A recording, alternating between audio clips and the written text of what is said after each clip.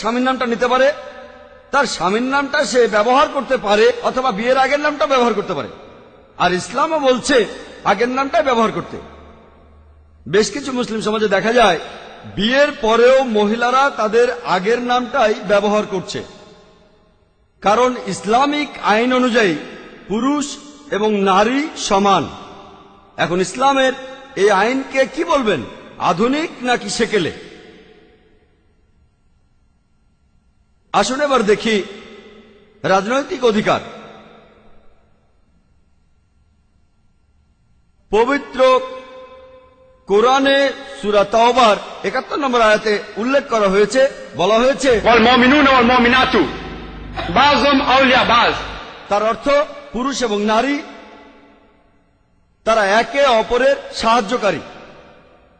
শুধুমাত্র সামাজিক ক্ষেত্রে সাহায্যকারী নয় রাজনৈতিক ক্ষেত্রেও।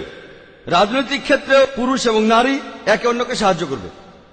ইসলাম নারীদের দিয়েছে ভোট দেওয়ার অধিকার।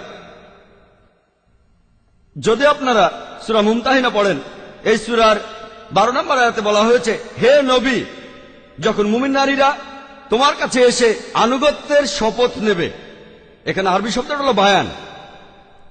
আর বায়ান এটার মানে হচ্ছে আমাদের বর্তমান সময়ের ইলেকশনের চাইতেও আরও ব্যাপক। আর নবীজি সাল্লাম, তিনি শুধু আল্লাহ রাসুলই ছিলেন না এছাড়া তিনি ছিলেন রাষ্ট্রপ্রধান। মহিলারা নবীজির কাছে আসতো, আর তারা রাষ্ট্রপ্রধান হিসেবে নবীজির কাছে আনুগত্য প্রকাশ করত। তাহলে ইসলাম নারীদেরকে ভোট দেওয়ার অধিকারও দিয়েছে।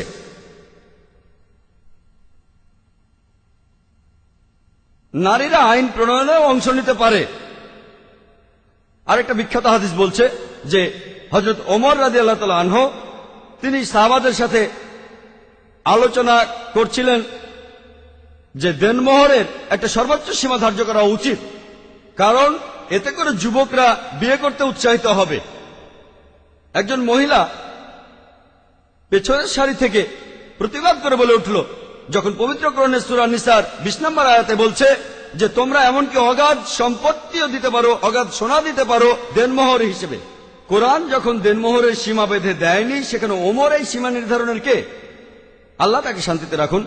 আর তক্ষণই হজরত ওমর রাজি আল্লাহ তালা বললেন, ওমর ভুল বলেছে, এই মহিলার কথা ঠিক। চিন্তা করেন মহিলা ছিলেন একজন সাধারণ নারী। যদি সেই মহিলা বিখ্যাত কেউ হতেন, তাহলে হাদিসে তার নাম উল্লেখ করা থাকতো। যেহেতু হাদিসে সেই মহিলার নাম উল্লেখ নেই, আমরা ধরে নিতে পারি তিনি ছিলেন সাধারণ একজন মহিলা। তার মানে একজন সাধারণ মহিলাও রাষ্ট্রের প্রধান খলিফার কথার প্রতিবাদ করতে পারত। এখানে এভাবে বলা যায় যে সেই মহিলা সংবিধানের আইন ভাঙার ব্যাপারে প্রতিবাদ করেছিল। কারণ কোরআন হল মুসলিমদের সংবিধান। তার অর্থ একজন নারী আইন প্রণয়নেও অংশগ্রহণ করতে পারে। নারীরা যুদ্ধক্ষেত্রেও অংশগ্রহণ করেছে। সহি বুখারিতে একটা পুরো অধ্যায় আছে, যেখানে যুদ্ধক্ষেত্রে নারীদের কথা বলা হয়েছে। নারীরা সৈনিকদের পানি আর প্রাথমিক চিকিৎসা দিয়েছে। আর সেখানে নসিবা নামে একজন মহিলার কথা উল্লেখ করা আছে। ওহুদের যুদ্ধে যারা নবীজিকে রক্ষা করেছিলেন, তিনি তাদের মধ্যে একজন। পবিত্রকরণ বলছে, পুরুষ হল নারীর রক্ষাকারী। স্বাভাবিক পরিস্থিতিতে নারীরা যুদ্ধক্ষেত্রে যাবে না। এটা পুরুষদের দায়িত্ব। তবে প্রয়োজন পড়লে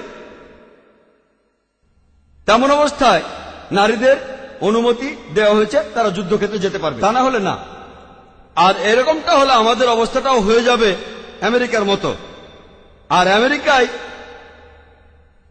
নারীরা যুদ্ধক্ষেত্রে গিয়ে যুদ্ধে অংশ নিত সেই উনিশশো এক সাল থেকে। তবে তারা সরাসরি যুদ্ধ করত না। তারা সেখানে দায়িত্ব পালন করত নার্সের। পরবর্তীতে নারীবাদী আন্দোলন শুরু হয়ে গেল। আর সেটা ছিল উনিশশো তিয়াত্তর সাল। তারা সেখানে দাবি করল কেন নারীদের সরাসরি যুদ্ধে অংশগ্রহণ করতে দেয়া হবে না? তারপর আমেরিকার সরকার অনুমতি দিল উনিশশো ছিয়াত্তর সালের পরে যে নারীরা এখন থেকে সরাসরি যুদ্ধে অংশগ্রহণ করতে পারবে। আর গত বছরে ডিফেন্স ডিপার্টমেন্টের একটা রিপোর্ট অনুযায়ী আমেরিকার ডিফেন্স ডিপার্টমেন্টের রিপোর্ট এটা প্রকাশিত হয়েছিল উনিশশো তিরানব্বই সালের তেইশে এপ্রিল। বলা হয়েছে যে একটা সম্মেলনে নব্বই জনেরও বেশিকে যৌন নিপীড়ন করা হয়েছে। আর তাদের মধ্যে, এদের মধ্যে তিরাশি জন হল মহিলা।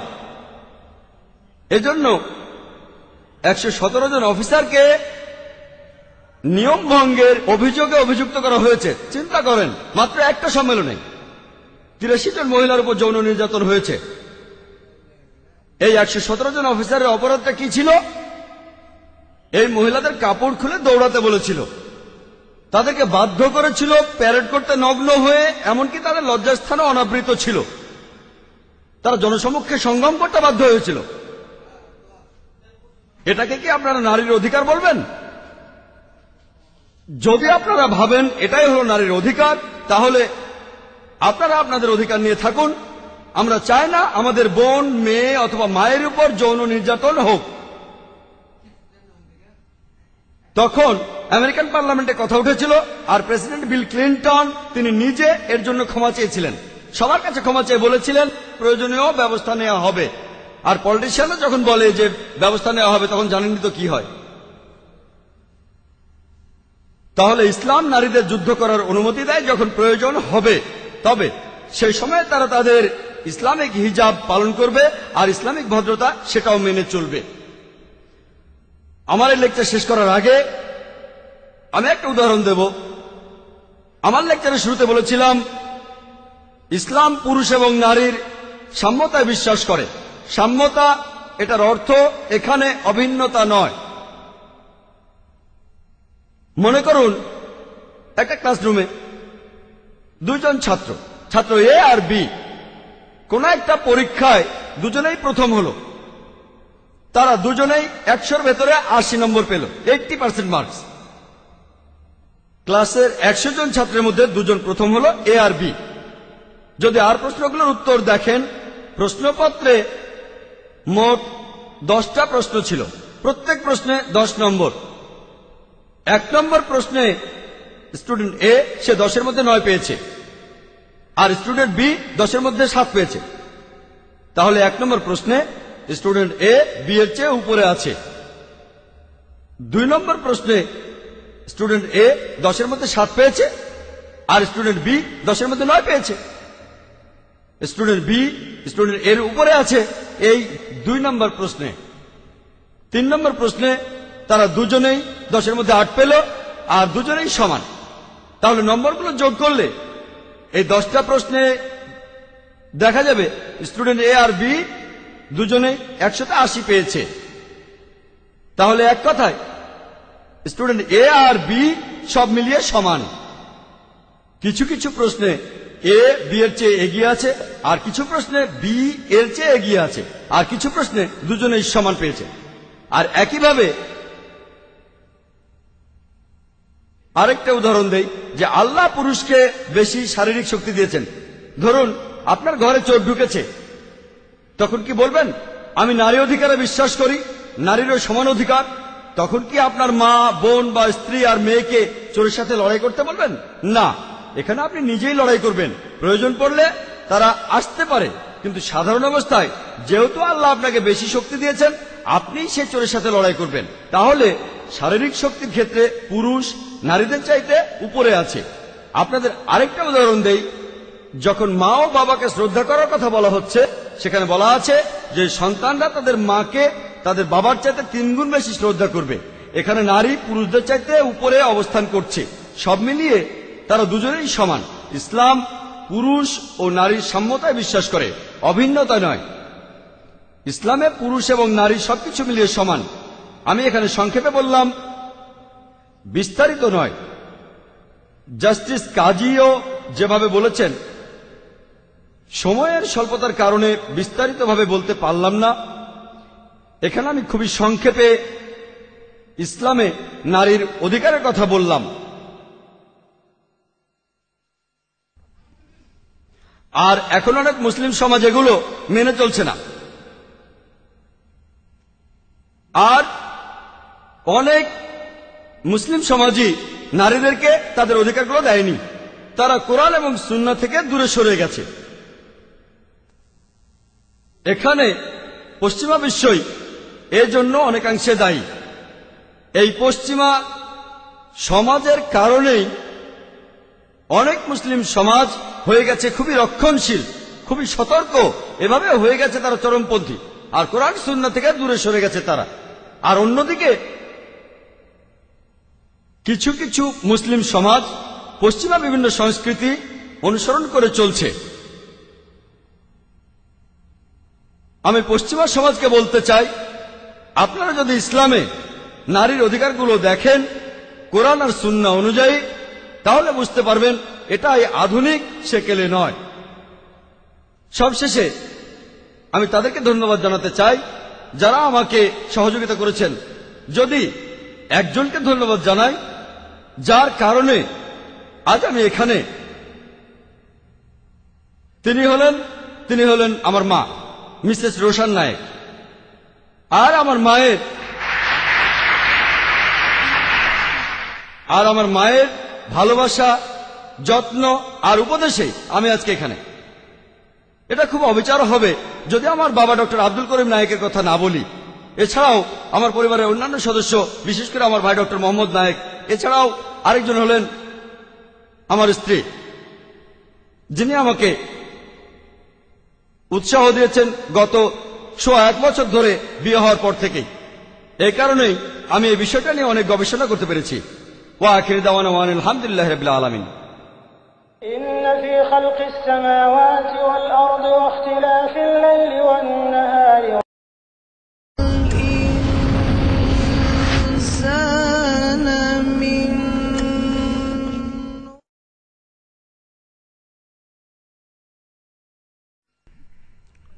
আপনাদের সবাইকে অনেক ধন্যবাদ। আমরা প্রশ্ন উত্তর পর্ব শুরু করার আগে এই অনুষ্ঠানে একটা ঘোষণা দেব। ইসলামিক রিসার্চ ফাউন্ডেশন এবং এর ট্রাস্টিরা ধন্যবাদ জানাচ্ছে Al Baraka finance house limited, Bombay, এবং এর ম্যানেজিং ডিরেক্টর মিস্টার রাশিদ উমরকে। আল বারাকা ফাইন্যান্স আমাদের এই অনুষ্ঠানটিতে ব্রডকাস্টিং কোয়ালিটির ইউমেট্রিক রেকর্ডিংয়ের ব্যবস্থা করেছে। মিস্টার রাশিদ ওমর এবং আলবারাকা ফাইন্যান্সকে অনেক ধন্যবাদ। এবারে শুরু হচ্ছে আমাদের প্রশ্নোত্তর পর্ব। আমি দর্শক শ্রোতাদের অনুরোধ করব, প্রশ্ন করার সময় আপনারা কিছু নিয়ম মেনে আমাদের প্রশ্নগুলো করবেন, যাতে করে আমাদের এই প্রশ্নোত্তর পর্বটা সফল হয়। দর্শকদের প্রশ্ন করার জন্য এই অডিটোরিয়ামের বিভিন্ন জায়গায় তিনটা মাইক বসানো হয়েছে। দুইটা মাইক নিচে আছে, যেগুলোতে পুরুষরা প্রশ্ন করবেন। আর একটা মাইক রয়েছে উপরে, বেলকনিতে মহিলাদের প্রশ্ন করার জন্য। আপনারা মাইক থেকে একবারে মাত্র একটা প্রশ্ন করবেন। একবারে প্রথম প্রশ্নটা, সেটা মহিলাদের মধ্য থেকে কেউ একজন করবেন। তার পরের প্রশ্নটা, আমার ডান দিকের মাইক থেকে একজন পুরুষ করবেন। তার পরের প্রশ্নটা আবারও বেলকনি থেকে মহিলাদের মধ্য থেকে আসবে। তার পরের প্রশ্নটা আমার বাম দিকের মাইক থেকে একজন পুরুষ করবেন। আর এইভাবেই আমাদের পরবর্তী প্রশ্নগুলো চলতে থাকবে। প্রথমে উপরে মাঝখান থেকে, তারপর নিচে দুই পাশ থেকে। আপনাদের মধ্যে যারা স্লিপে প্রশ্ন করতে চান, আপনারা আপনাদের পাশেই ভলেন্টিয়ারদের কাছে কাগজ কলম পাবেন। মাইকে প্রশ্ন শেষ হলে ডাক্তার জাকির নায়েক চিরকুটে লেখা প্রশ্নগুলোর উত্তর দেবেন। আপনাদের প্রশ্ন বিষয়ের সাথে প্রাসঙ্গিক হতে হবে। ইসলাম ধর্মে নারীদের অধিকার, এটা কি আধুনিক নাকি সেকেলে? আর দয়া করে আপনারা প্রশ্নগুলো সংক্ষিপ্ত আর যথাযথ করবেন। এক থেকে তিনটা সেন্টেন্সের মধ্যে হলে ভালো হয়। এটা একটা প্রশ্ন আর উত্তর পর্ব। কোন রকম লেকচার বা বিতর্ক পর্ব না। দয়া করে আপনারা একবারে একটা প্রশ্ন করবেন। যদি সময় থাকে তাহলে আপনি পরের প্রশ্নটাও করতে পারবেন। যখন লাইনে দাঁড়ানো অন্যেরা তাদের প্রশ্নগুলো করে ফেলবে। এই অল্প সময়ের মধ্যে আমাদের এই প্রশ্নোত্তর পর্বটা শিক্ষামূলক আর আকর্ষণীয় করার জন্য আমরা অপ্রাসঙ্গিক বিভিন্ন প্রশ্নকে বাদ দিয়ে যেতে পারি। আর ডাক্তার জাকির এখানে কোন প্রশ্নের উত্তর দেবেন, সেখানে আমাদের সিদ্ধান্তটাই চূড়ান্ত হবে। আমাদের বক্তা ডক্টর জাকির নায়েক যাতে যথাযথভাবে আপনার প্রশ্নের উত্তর দিতে পারেন, সেজন্য দয়া করে আপনার প্রশ্নটা করার আগে আপনার নাম ও পেশাটা বলে নিন। প্রশ্ন করার আগে আপনার নাম বলুন আর পেশাটা বলুন, যাতে করে আপনাকে আরও সঠিক উত্তর দিতে পারি। ধন্যবাদ। আমরা এবার প্রশ্নোত্তর পর্ব শুরু করতে যাচ্ছি। ডক্টর জাকির নায়েক উত্তর দেওয়ার জন্য প্রস্তুত আছেন। যারা প্রশ্ন করবেন তারাও প্রস্তুত। এবারে মহিলাদের মধ্য থেকে প্রথম প্রশ্নটা করা হচ্ছে বেলকনি থেকে। আমার নাম সাবা। আমি একজন স্টুডেন্ট। আমি আপনাকে একটা প্রশ্ন করব জাকির ভাই একজন পুরুষ বেহেশতে গেলে হুর পাবে অর্থাৎ আয়তলোচনা সুন্দরী সে পাবে। কিন্তু নারী বেহেশতে গেলে সেখানে সে কি পাবে?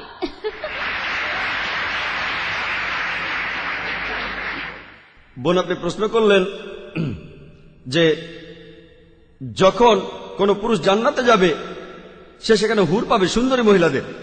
এখানে নারীরা কি পাবে? তারা যখন জান্নাতে যাবে। পবিত্র কোরআনে এই হুর শব্দটার উল্লেখ আছে, সব মিলিয়ে মোট চারটি জায়গায়। পবিত্র কোরআনে সুরা দুখানের চুয়ান্ন নম্বর আয়াতে উল্লেখ করা হয়েছে। এরপরে সুরা তুরের বিশ নম্বর আয়াতে উল্লেখ করা হয়েছে। এরপরে সুরা রহমানের বাহাত্তর নম্বর আয়াতে উল্লেখ করা হয়েছে। আর সবশেষে সুরা ওয়াকিয়ার বাইশ নম্বর আয়াতে উল্লেখ করা হয়েছে। আর এখানে বেশিরভাগ অনুবাদে বিশেষ করে উর্দু অনুবাদে এই হুর শব্দটার অনুবাদ করা হয়েছে যে সুন্দরী মহিলা। যদি এই হুর শব্দটার অর্থ হয়ে থাকে সুন্দরী মহিলা, তাহলে মহিলারা জান্নাতে গিয়ে কি পাবে? সত্যি বলতে, এই হুর শব্দটা হলো বহু বচন। এক বচনে হাওয়ার, যেটা পুরুষের জন্য প্রযোজ্য। আর হাওয়ার, এটা নারীদের জন্য প্রযোজ্য। এখানে আসলে হাওয়ারের চারিত্রিক বৈশিষ্ট্য বোঝানো হচ্ছে। এর অর্থ, বড়, সাদা, সুন্দর চোখ। এখানে বিশেষ করে সাদা চোখের কথা বলা হয়েছে। একই ধরনের আরেকটা শব্দ রয়েছে, আজওয়াজুন মুতাহারাতুন। কোরআনের অনেক জায়গায় আছে, সুরা বাকারার পঁচিশ নম্বর আয়াতে উল্লেখ করা হয়েছে এবং সুরা নিসার সাতান্ন নম্বর আয়াতে উল্লেখ করা হয়েছে। এখানে বলা হয়েছে, আজওয়াজুন মুতাহারাতুন, যার অর্থ সঙ্গী বা সাথী। মোহাম্মদ আসাদ এই হুর শব্দটার অনুবাদ করেছেন স্বামী বা স্ত্রী, আর আবদুল্লাহ ইসুফ আলী তিনি অনুবাদ করেছেন সঙ্গী। তাহলে হুর শব্দটার অর্থ সঙ্গী বা স্বামী বা স্ত্রী। এটার আসলে কোনো লিঙ্গ নেই। পুরুষরা জান্নাতে গেলে ভালো মহিলা পাবে যাদের চোখ বড় আর সুন্দর। আর মহিলারা পাবে ভালো পুরুষ যাদের চোখ বড় আর সুন্দর। আশা করি উত্তরটা পেয়েছেন। এবারের প্রশ্ন ডান দিকের মাইক থেকে। সালাম আলাইকুম সুলতান কাজী। আমি চাকরি করি। আমি একটা প্রশ্ন করতে চাই ডাক্তার জাকির নায়েককে যখন কোনো বিচারে সাক্ষ্য দেওয়া হয়, তখন কেন দুইজন মহিলা সাক্ষী, একজন পুরুষ সাক্ষীর সমান হয়?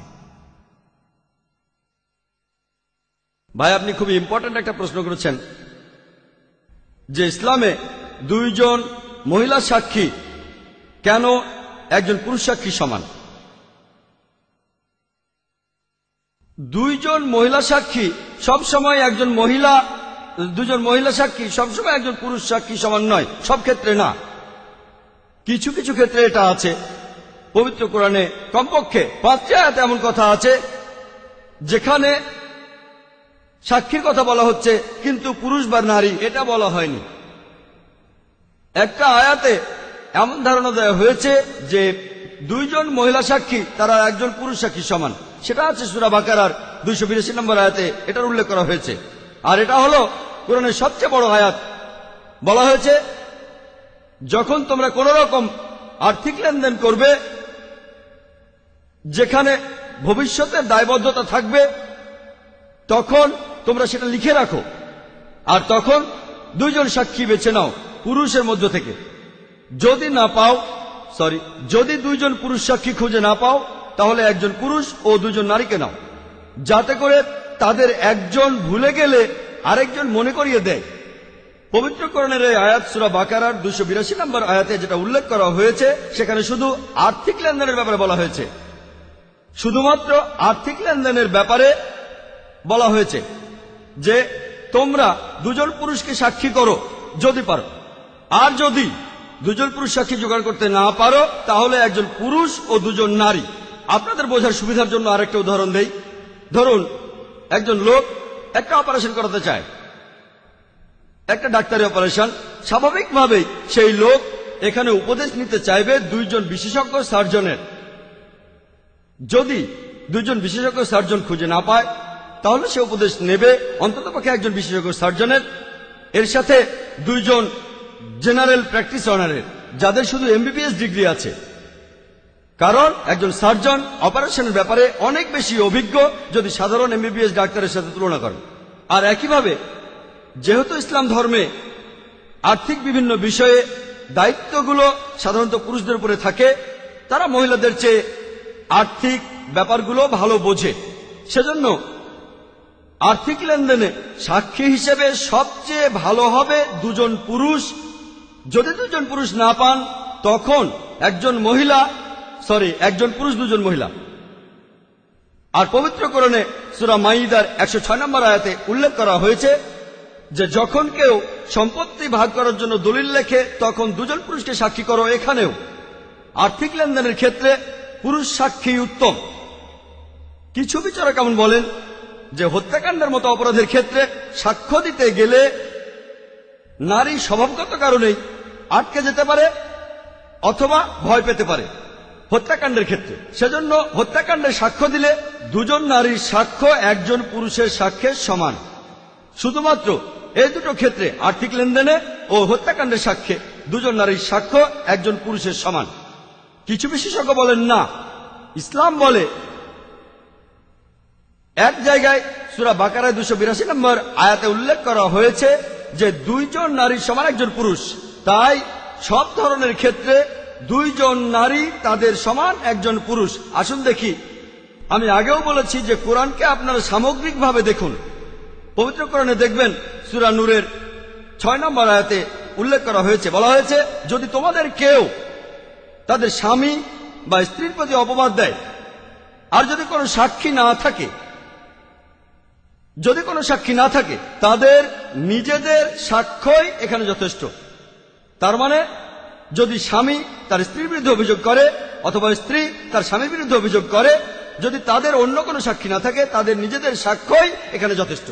এই আয়াতটা পরিষ্কারভাবে বলছে যে একজন মহিলার সাক্ষী একজন পুরুষের সাক্ষীর সমান।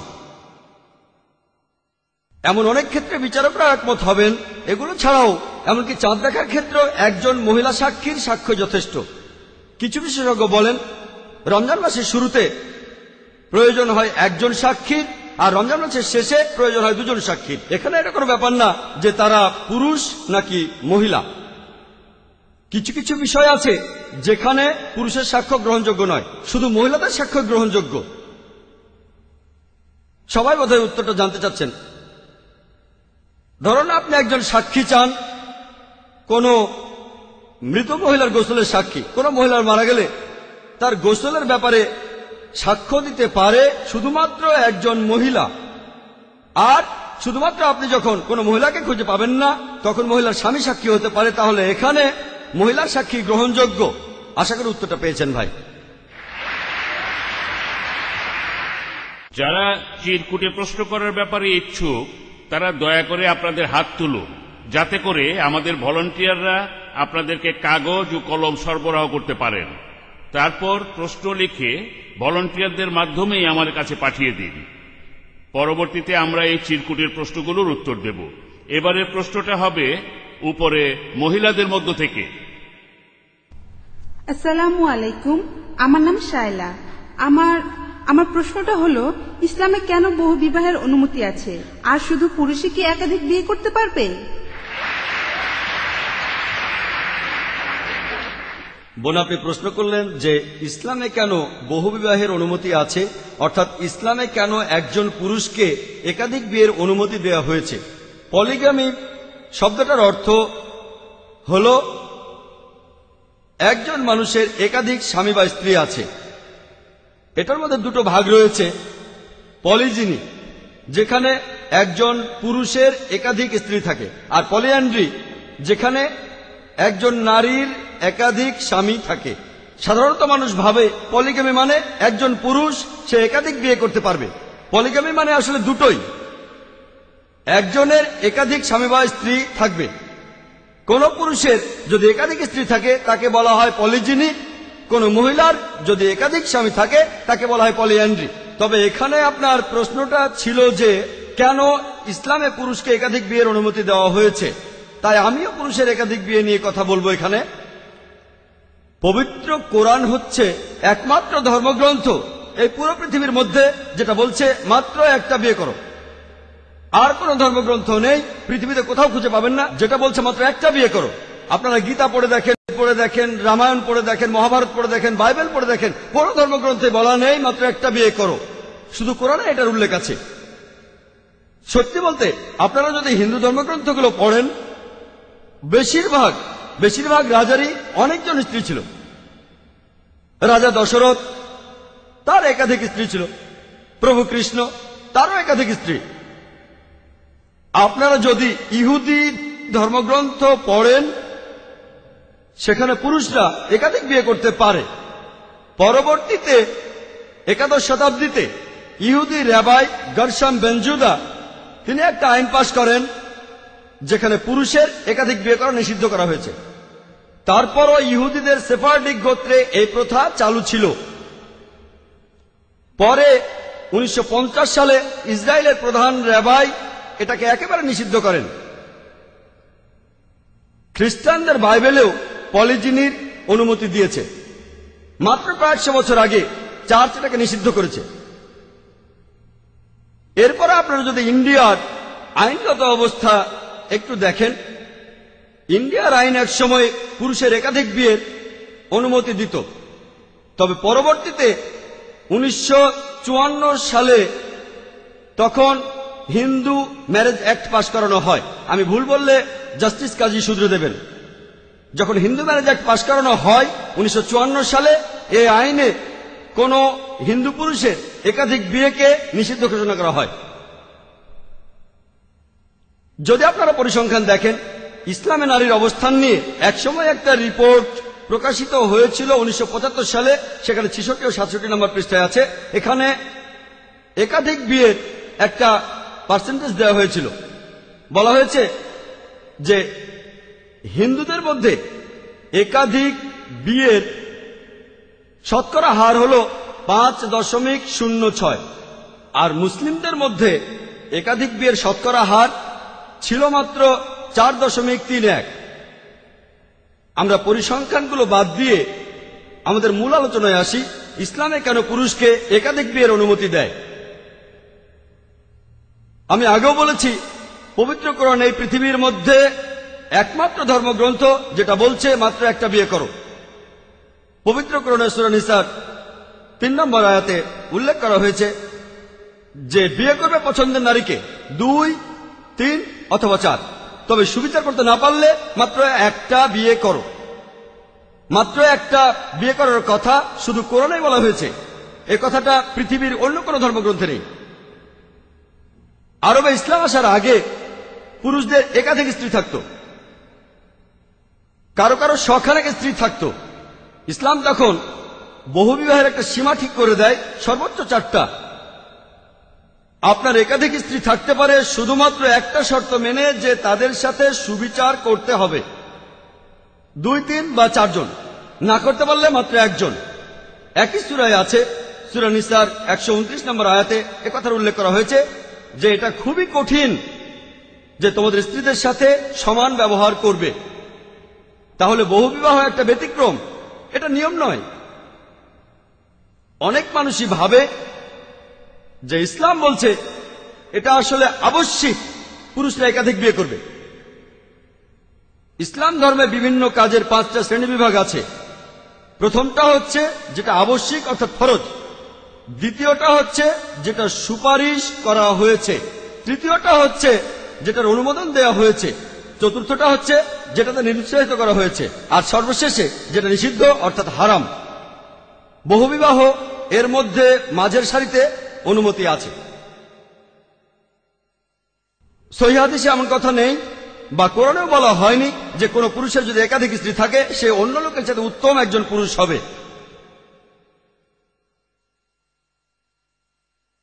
আসুন, এবার যুক্তি দিয়ে দেখি। কেন ইসলাম পুরুষকে একাধিক বিয়ে করার অনুমতি দেয়? প্রাকৃতিকভাবে পুরুষ এবং নারী জন্ম নেয়। পুরুষ আর নারীর জন্ম নেয় সমান অনুপাতে। তবে মেডিকেল সায়েন্স আমাদের বলে যে, মানুষের ভ্রূণ, সেটা যদি মেয়ে হয়, সে তাহলে ছেলে ভ্রূণের চাইতে শক্তিশালী। আধুনিক বিজ্ঞান আমাদের বলে যে, মেয়ে শিশুর রোগ প্রতিরোধ ক্ষমতা ছেলের চেয়ে বেশি। মেয়ে শিশুরা ছেলে শিশুর চাইতে বিভিন্ন রকম রোগ জীবাণুকে আরও অনেক ভালোভাবে প্রতিরোধ করতে পারে। মেডিকেল সায়েন্স আমাদের বলে যে মেয়ে শিশুরা তুলনামূলকভাবে ছেলে শিশুর চাইতে শক্তিশালী হয়। তাহলে সেই শিশু বয়স থেকেই মেয়েদের সংখ্যা ছেলেদের চেয়ে বেশি। পৃথিবীতে বিভিন্ন সময়ে অনেক যুদ্ধ হয়, আর যুদ্ধের সময় মেয়েদের তুলনায় ছেলেরাই বেশি মারা যায়। এই কিছুদিন আগেও আফগানিস্তানের যুদ্ধে আনুমানিকভাবে প্রায় পনেরো লক্ষ মানুষ মারা গেছে। তাদের মধ্যে বেশিরভাগই হল পুরুষ। পরিসংখ্যান আমাদের বলে বিভিন্ন জায়গায় দুর্ঘটনা হয়। সেখানেও মেয়েদের চাইতে ছেলেরাই বেশি মারা যায়। অনেক বেশি পুরুষ ধূমপানের কারণে মারা যায়, কিন্তু নারীরা কম মারা যায়। সেজন্য পৃথিবীতে পুরুষের তুলনায় আপনারা অনেক বেশি নারী দেখতে পাবেন। ইন্ডিয়া হল তেমন একটা দেশ, এশিয়ায় আরও কিছু দেশ আছে, আর আফ্রিকায় যেখানে মহিলাদের সংখ্যা পুরুষদের সংখ্যার চেয়ে কম। এর কারণটা আমি আগেও বলেছি, কারণ প্রতি বছরে দশ লক্ষেরও বেশি মহিলার গর্ভপাত ঘটানো হয় ইন্ডিয়াতে। আর নবজাত শিশুকে হত্যা করার কারণে কন্যা শিশু হত্যা। এই কারণেই এদেশে মহিলাদের সংখ্যা কম, পুরুষদের চেয়ে। আমরা যদি এই অশুভ চর্চাটি বন্ধ করি, তাহলে এখন থেকে দশ বিশ বছর পরেই দেখব যে পুরুষদের সংখ্যা নারীদের চেয়ে কম আমাদের দেশে। শুধুমাত্র নিউ ইয়র্কে পুরুষের চাইতে নারীর সংখ্যা দশ লক্ষ জন বেশি। শুধুমাত্র আমেরিকাতে পুরুষের চাইতে নারী আটাত্তর লক্ষ জন বেশি। আর এছাড়াও নিউ ইয়র্কে যতজন পুরুষ আছে, তার মধ্যে এক তৃতীয়াংশকে তারা হলো সমকামী। তার মানে তারা নারীর প্রতি আগ্রহী নয়। আর পুরো আমেরিকাতে প্রায় আড়াই কোটি সমকামী রয়েছে। শুধুমাত্র ব্রিটেনে পুরুষের চেয়ে নারী চল্লিশ লক্ষ জন বেশি। শুধুমাত্র জার্মানিতে পুরুষের চেয়ে নারী পঞ্চাশ লক্ষ জন বেশি। শুধুমাত্র রাশিয়াতে পুরুষের চেয়ে নারী সত্তর লক্ষ জন বেশি। আর আল্লাহ তালাই ভালো জানেন, এই পুরো পৃথিবীতে নারীর সংখ্যা, পুরুষের সংখ্যা চেয়ে কতজন বেশি আছে। মনে করেন, আমার বোন আমেরিকায় বসবাস করে, সেখানে প্রত্যেক পুরুষই বিয়ে করেছে। প্রত্যেক পুরুষ একজন করে মহিলাকে বিয়ে করেছে। তারপরও শুধুমাত্র আমেরিকাতে প্রায় ত্রিশ লক্ষ মহিলা থাকবে, যারা তাদের জন্য কোনো স্বামী পাবে না। আর ধরেন, আমার বোন আমেরিকায় বসবাস করে, সেই দুর্ভাগা মহিলাদের মধ্যে সেও একজন, যে তার জন্য কোনো স্বামী পায়নি। তার সামনে তখন যে পথটা খোলা থাকে, সেটা হলো, সে এমন একজনকে বিয়ে করবে, এমন এক লোককে বিয়ে করবে যার স্ত্রী আছে, অথবা হতে পারে জনগণের সম্পত্তি। এছাড়া অন্য কোনো পথ নেই। আর বিশ্বাস করেন, এই প্রশ্নটা আমি অনেক অমুসলিমকেই করেছি, আর সবাই প্রথম সুযোগটাই বেছে নিয়েছে। এখন পর্যন্ত কেউ দ্বিতীয় সুযোগটা বেছে নেয়নি। তবে কিছু কিছু স্মার্ট লোক আছে যারা বলবে, আমি চাই যে আমার বোন কুমারী থাকবে। বিশ্বাস করেন মেডিকেল সায়েন্স আমাদের বলে যে পুরুষ অথবা নারী, তারা সারা জীবন ধরেই ভার্জিন থাকতে পারে না। একজন নারীর পক্ষে কুমারী থাকা সম্ভব নয়, সে তখন অনৈতিকভাবে যৌনাচারে লিপ্ত হয়ে যাবে। কারণ প্রত্যেক দিন আমাদের শরীরে সেক্স হরমোন তৈরি হয়। আর সেই সব বিখ্যাত লোকেরা যারা সংসার জীবন ত্যাগ করেছে, যেমন ধরুন সাধু আর সন্ন্যাসীরা, তারা হিমালয় পাহাড়ে চলে যায়, তাদের পেছন পেছন দেবদাসীরাও চলে যায়। কি জন্য?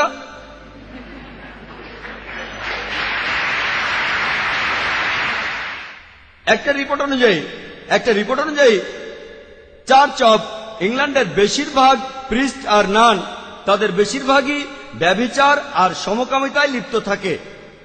এখানে অন্য কোনো সুযোগ, অন্য কোনো সুযোগ নেই। যেটা করতে পারেন, এমন কাউকে বিয়ে করতে পারেন, যে লোকের আরেকজন স্ত্রী আছে, তা না হলে জনগণের সম্পত্তি। এই প্রশ্নটার ধারাবাহিকতায় আরেকটা প্রশ্ন। এই প্রশ্নটা আমরা চিরকুটে পেয়েছি। যেসব ক্ষেত্রে বহুবিবাহের অনুমতি আছে, সেই ক্ষেত্রগুলি কি উল্লেখ করবেন? প্রশ্নটা করেছেন বোন সামিনা। যেসব ক্ষেত্রে বহুবিবাহের অনুমতি আছে, সেই ক্ষেত্রগুলি কি উল্লেখ করবেন? বোন, আপনি আপনি একটা প্রশ্ন করেছেন যে কোন কোন ক্ষেত্রগুলোতে ইসলাম ধর্ম আমাদের বহুবিবাহের অনুমতি দেয়। এখানে শর্ত একটাই, যে যদি সেই লোক তার সব কজন স্ত্রীর সাথে সুবিচার করতে পারেন, যদি সুবিচার করতে পারেন, তিনি তার সকল স্ত্রীর সাথে, তার দুইজন, তিনজন বা চারজন স্ত্রীর সাথে তাহলেই সেই লোক একাধিক বিয়ে করতে পারেন। যদি সুবিচার করতে না পারেন, তাহলে তার সন্তুষ্ট থাকা উচিত একজন স্ত্রীতেই। এছাড়া আরও বেশ কিছু ক্ষেত্র আছে, যেখানে এটা বলা যায় যে একজন পুরুষ, সে একাধিক মহিলাকে বিয়ে করবে। একটা উদাহরণ আমি আগে দিয়েছি, কারণ হলো অনেক মহিলাকে পাওয়া যাবে যারা তাদের জন্য স্বামী পাবে না। ইসলাম বহুবিবাহের অনুমতি দিয়েছে মহিলাদের শালীনতা রক্ষার জন্য। এছাড়াও আরও কিছু ক্ষেত্র আছে। এখানে একটা উদাহরণস্বরূপ, একজন যুবতী, সে বিয়ে করল আর তারপর আনুমানিকভাবে বিয়ে করার কয়েক মাস পরে সেই মহিলা অ্যাক্সিডেন্ট করল আর সে পঙ্গু হয়ে গেল আর সে শারীরিকভাবে অক্ষম হয়ে গেল। তখন সেই স্বামী যে কাজটা করতে পারে, সে হয় তার আগের পঙ্গু স্ত্রীকে রেখেই আরেকটা বিয়ে করতে পারে, অথবা প্রথম স্ত্রীকে তালাক দিয়ে নতুন করে বিয়ে করতে পারে। এখন আপনাদের বলি, ধরুন আপনার বোন হলেন সেই দুর্ভাগা মহিলা যে পঙ্গু হয়ে গেছে। এখানে কি বলবেন? আপনি কি চাইবেন আপনার ভগ্নিপতি তখন আপনার বোনকে তালাক দিয়ে নতুন করে বিয়ে করুক? নাকি আপনি চাইবেন যে আপনার ভগ্নিপতি প্রথম স্ত্রীকে রেখেই নতুন করে আরেকটা বিয়ে করুক? এমনও ঘটনা ঘটতে পারে, কারও স্ত্রী প্রচণ্ড রকমের অসুস্থ হয়ে পড়ল। সে এতটাই অসুস্থ হলো যে সন্তানদের দেখাশোনা করতে পারল না, স্বামীরও দেখাশোনা করতে পারল না। এমন পরিস্থিতিতে এটা করাই যৌক্তিক যে সেই মহিলা স্বামীকে শেয়ার করবেন, আরেকজন মহিলার সঙ্গে যে শুধু তার স্বামীর দেখাশোনা করবে না, সেই মহিলাকেও দেখবেন, তার সন্তানদেরও যত্ন নেবেন। অনেকেই হয়তো বলবে, এখানে তো একজন পরিচারিকা রাখতে পারতেন, অথবা নার্স। সন্তানদের দেখাশোনার জন্য। আমিও তাতে একমত। আপনি একজন পরিচারিকা রাখতে পারেন যে আপনার স্ত্রী সন্তানদের দেখাশোনা করবে, কিন্তু আপনাকে দেখাশোনা করবে কে? কিছুদিন পরে সেই পরিচারিকা আপনাকে যত্ন নেওয়া শুরু করবে। তাই সবচেয়ে ভালো সমাধান হচ্ছে আপনি প্রথম স্ত্রীকে বর্তমান রেখে আরেকটা বিয়ে করবেন আর দুজনকে সমান চোখে দেখবেন। আর অনেক ক্ষেত্র থাকতে পারে। যেমন ধরুন, বিয়ে করার অনেক বছর পরেও আপনাদের কোনো সন্তান হচ্ছে না। আর হতে পারে স্বামী স্ত্রী দুজনেই একটা সন্তান আশা করছে। এ অবস্থায় স্ত্রী অনুমতি দিতে পারে যে তার স্বামী আরেকটা বিয়ে করবে, যাতে করে তাদের সন্তান হয়। কিছু মানুষ হয়তো বলবে, তাহলে সন্তান দত্তক নেন। ইসলাম সন্তান দত্তক নেওয়ার অনুমতি দেয় না। বেশ কিছু কারণ আছে, এখানে বিস্তারিত বলছি না। আর এখানে যে একমাত্র পথটা খোলা থাকে, সে হয় তার প্রথম স্ত্রীকে তালাক দেবে, তারপর একটা বিয়ে করবে। যদি সে সন্তান চান অথবা প্রথম স্ত্রীকে বর্তমান রেখে আরেকটা বিয়ে করতে পারে আর দুজনের সাথেই সমান ব্যবহার করবে এই ক্ষেত্রগুলোতে অনুমতি আছে। এবারের প্রশ্ন বাম দিকের মাইক থেকে। আমার নাম ইলিয়াস আমি একজন স্টুডেন্ট। আমার প্রশ্নটা হলো আমার প্রশ্নটা হলো একজন মহিলা কি রাষ্ট্রপ্রধান হতে পারেন? একজন মহিলা কি রাষ্ট্রের প্রধান হতে পারেন? ভাই আপনি প্রশ্ন করেছেন যে কোন মহিলা কি রাষ্ট্রপ্রধান হতে পারেন? পবিত্র করণে আমার জানা এমন কোনো কথা নেই, বলছে যে একজন মহিলা রাষ্ট্রের প্রধান হতে পারবেন না। তবে এমন বেশ কিছু হাদিস আছে। যেমন একটা হাদিস বলছে যে, সেই জাতি যাদের নেতা একজন মহিলা, তারা সফল হবে না। কিছু বিশেষজ্ঞ বলেন যে, এটা বলা হয়েছিল একটা বিশেষ সময়ের একটা বিশেষ ঘটনাকে উদ্দেশ্য করে। আর সে সময় পারস্য দেশের নেতা ছিল তাদের রানী। অন্য বিশেষজ্ঞরা বলে, না, এখানে আসলে সবার কথাই বলা হয়েছে। আসুন দেখি যে ইসলাম ধর্মে একজন মহিলা রাষ্ট্রপ্রধান হতে পারবেন কিনা? যদি একজন মহিলা রাষ্ট্রপ্রধান হন কোন ইসলামিক দেশে, তাকে হয়তো নামাজের সময় ইমামতিও করতে হতে পারে। আর যদি একজন মহিলা জামাতে নামাজ পড়া ইমামতি করেন, আর নামাজে আমরা বিভিন্ন অঙ্গভঙ্গি করি, যেমন কালাম, রুকু, সিজদা, দাঁড়ানো নতজানু আর উপর হওয়া, যদি পুরুষদের সামনে একজন মহিলা এগুলো করে নামাজের সময়, আমি নিশ্চিত এতে নামাজের অসুবিধা হবে। যদি সেই মহিলা আমাদের দেশের মতো বর্তমানের কোন দেশের রাষ্ট্রপ্রধান হন প্রায় দেখা যাবে। সেই রাষ্ট্রপ্রধান বিভিন্ন মিটিং করছেন অন্য দেশের রাষ্ট্রপ্রধানদের সাথে, যারা হতে পারে পুরুষ, আর মাঝে মধ্যেই তারা ক্লোজ ডোর মিটিং করে, যেখানে অন্য কেউ ঢুকতে পারে না। যদি একজন মহিলা আরেকজন পুরুষের সাথে ক্লোজ ডোর মিটিং করে, ইসলাম এটার অনুমতি দেয় না। ইসলাম বলে যে একজন মহিলা কোনো পরপুরুষের সাথে একা থাকতে পারবেন না, মিটিং করতে পারবে না। ইসলাম পুরুষ ও নারীর অবাধ মেলামেশার অনুমতি দেয় না। একজন রাষ্ট্রপ্রধানের ছবি বিভিন্ন সময়ে প্রচার করা হয়, ভিডিও শুটিং, ফটোগ্রাফি।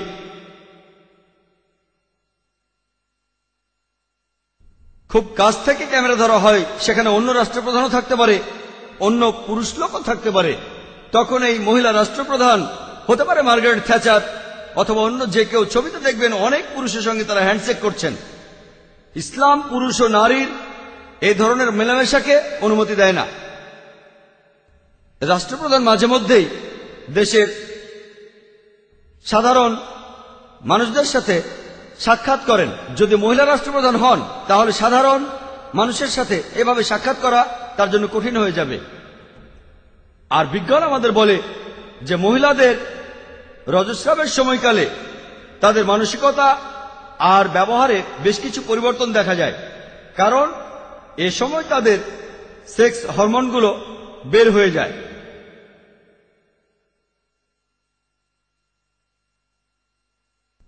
আর তিনি রাষ্ট্রপ্রধান হলে এই পরিবর্তনের কারণে বিভিন্ন সিদ্ধান্ত নিতে তার সমস্যা হতে পারে। এছাড়াও বিজ্ঞান আমাদের বলে যে মহিলারা, তারা পুরুষদের তুলনায় কথাবার্তা বলা, পুরুষদের তুলনায় কথাবার্তা বলায় বেশি পারদর্শী। আর পুরুষরা, তাদের রয়েছে বিশেষ কিছু মানসিক ক্ষমতা। বিশেষ ক্ষমতা মানে পুরুষরা বেশি কল্পনা করতে পারে যে ভবিষ্যতে কি হবে, ভবিষ্যতের ঘটনাগুলো কল্পনা করতে পারে। আর রাষ্ট্রপ্রধান হলে এই বিশেষ মানসিক ক্ষমতাগুলোর প্রয়োজন রয়েছে। একজন মহিলা, সে একজন পুরুষের চাইতে কথাবার্তা বলায় বেশি পারদর্শী। যেটা একজন মায়ের জন্য খুবই প্রয়োজন। একজন মহিলা, তিনি অন্তঃসত্ত্বা হয়ে পড়েন। তখন তার কয়েক মাস বিশ্রামের প্রয়োজন হয়। সেই সময় কে সেই রাষ্ট্রে দেখাশোনা করবে? তার সন্তান থাকতে পারে। মা হিসেবে এই দায়িত্বটা খুবই ইম্পর্ট্যান্ট আর এই কাজটা একজন পুরুষের জন্য সুবিধাজনক, কারণ তিনি একই সাথে সন্তানের বাবা আর রাষ্ট্রপ্রধান হতে পারেন, কিন্তু একজন মহিলার পক্ষে একই সাথে মা আর রাষ্ট্রপ্রধান হওয়াটা সুবিধাজনক নয়। আমিও সেই সব বিশেষজ্ঞদের মতোই বলব, মহিলাদের কোন দেশের রাষ্ট্রপ্রধান হওয়া উচিত নয়। কিন্তু তার মানে এই না যে মহিলারা সিদ্ধান্ত গ্রহণে অংশ নিতে পারবেন না। আমি আমার লেকচার আগেও বলেছি, ভোটাধিকার আছে, আইন প্রণয়নের সময় তারা সিদ্ধান্ত নিতে পারে। আর আমরা ইতিহাস থেকে জানতে পারি,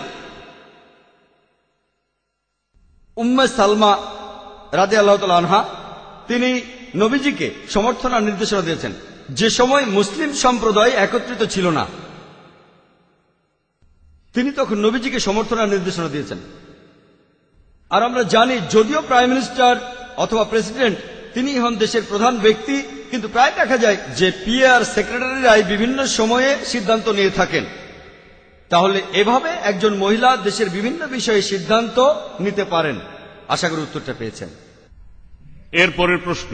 আমি বিমলা দালাল অ্যাডভোকেট আমার প্রশ্নটা হলো ইসলাম বলে যে নারীর অধিকার সমান পুরুষের সমান তাহলে নারীরা কেন পর্দার ভেতর থাকবে? আর এই ধরনের মিটিংয়েও কেন নারীদের জন্য আলাদা বসার জায়গা থাকবে?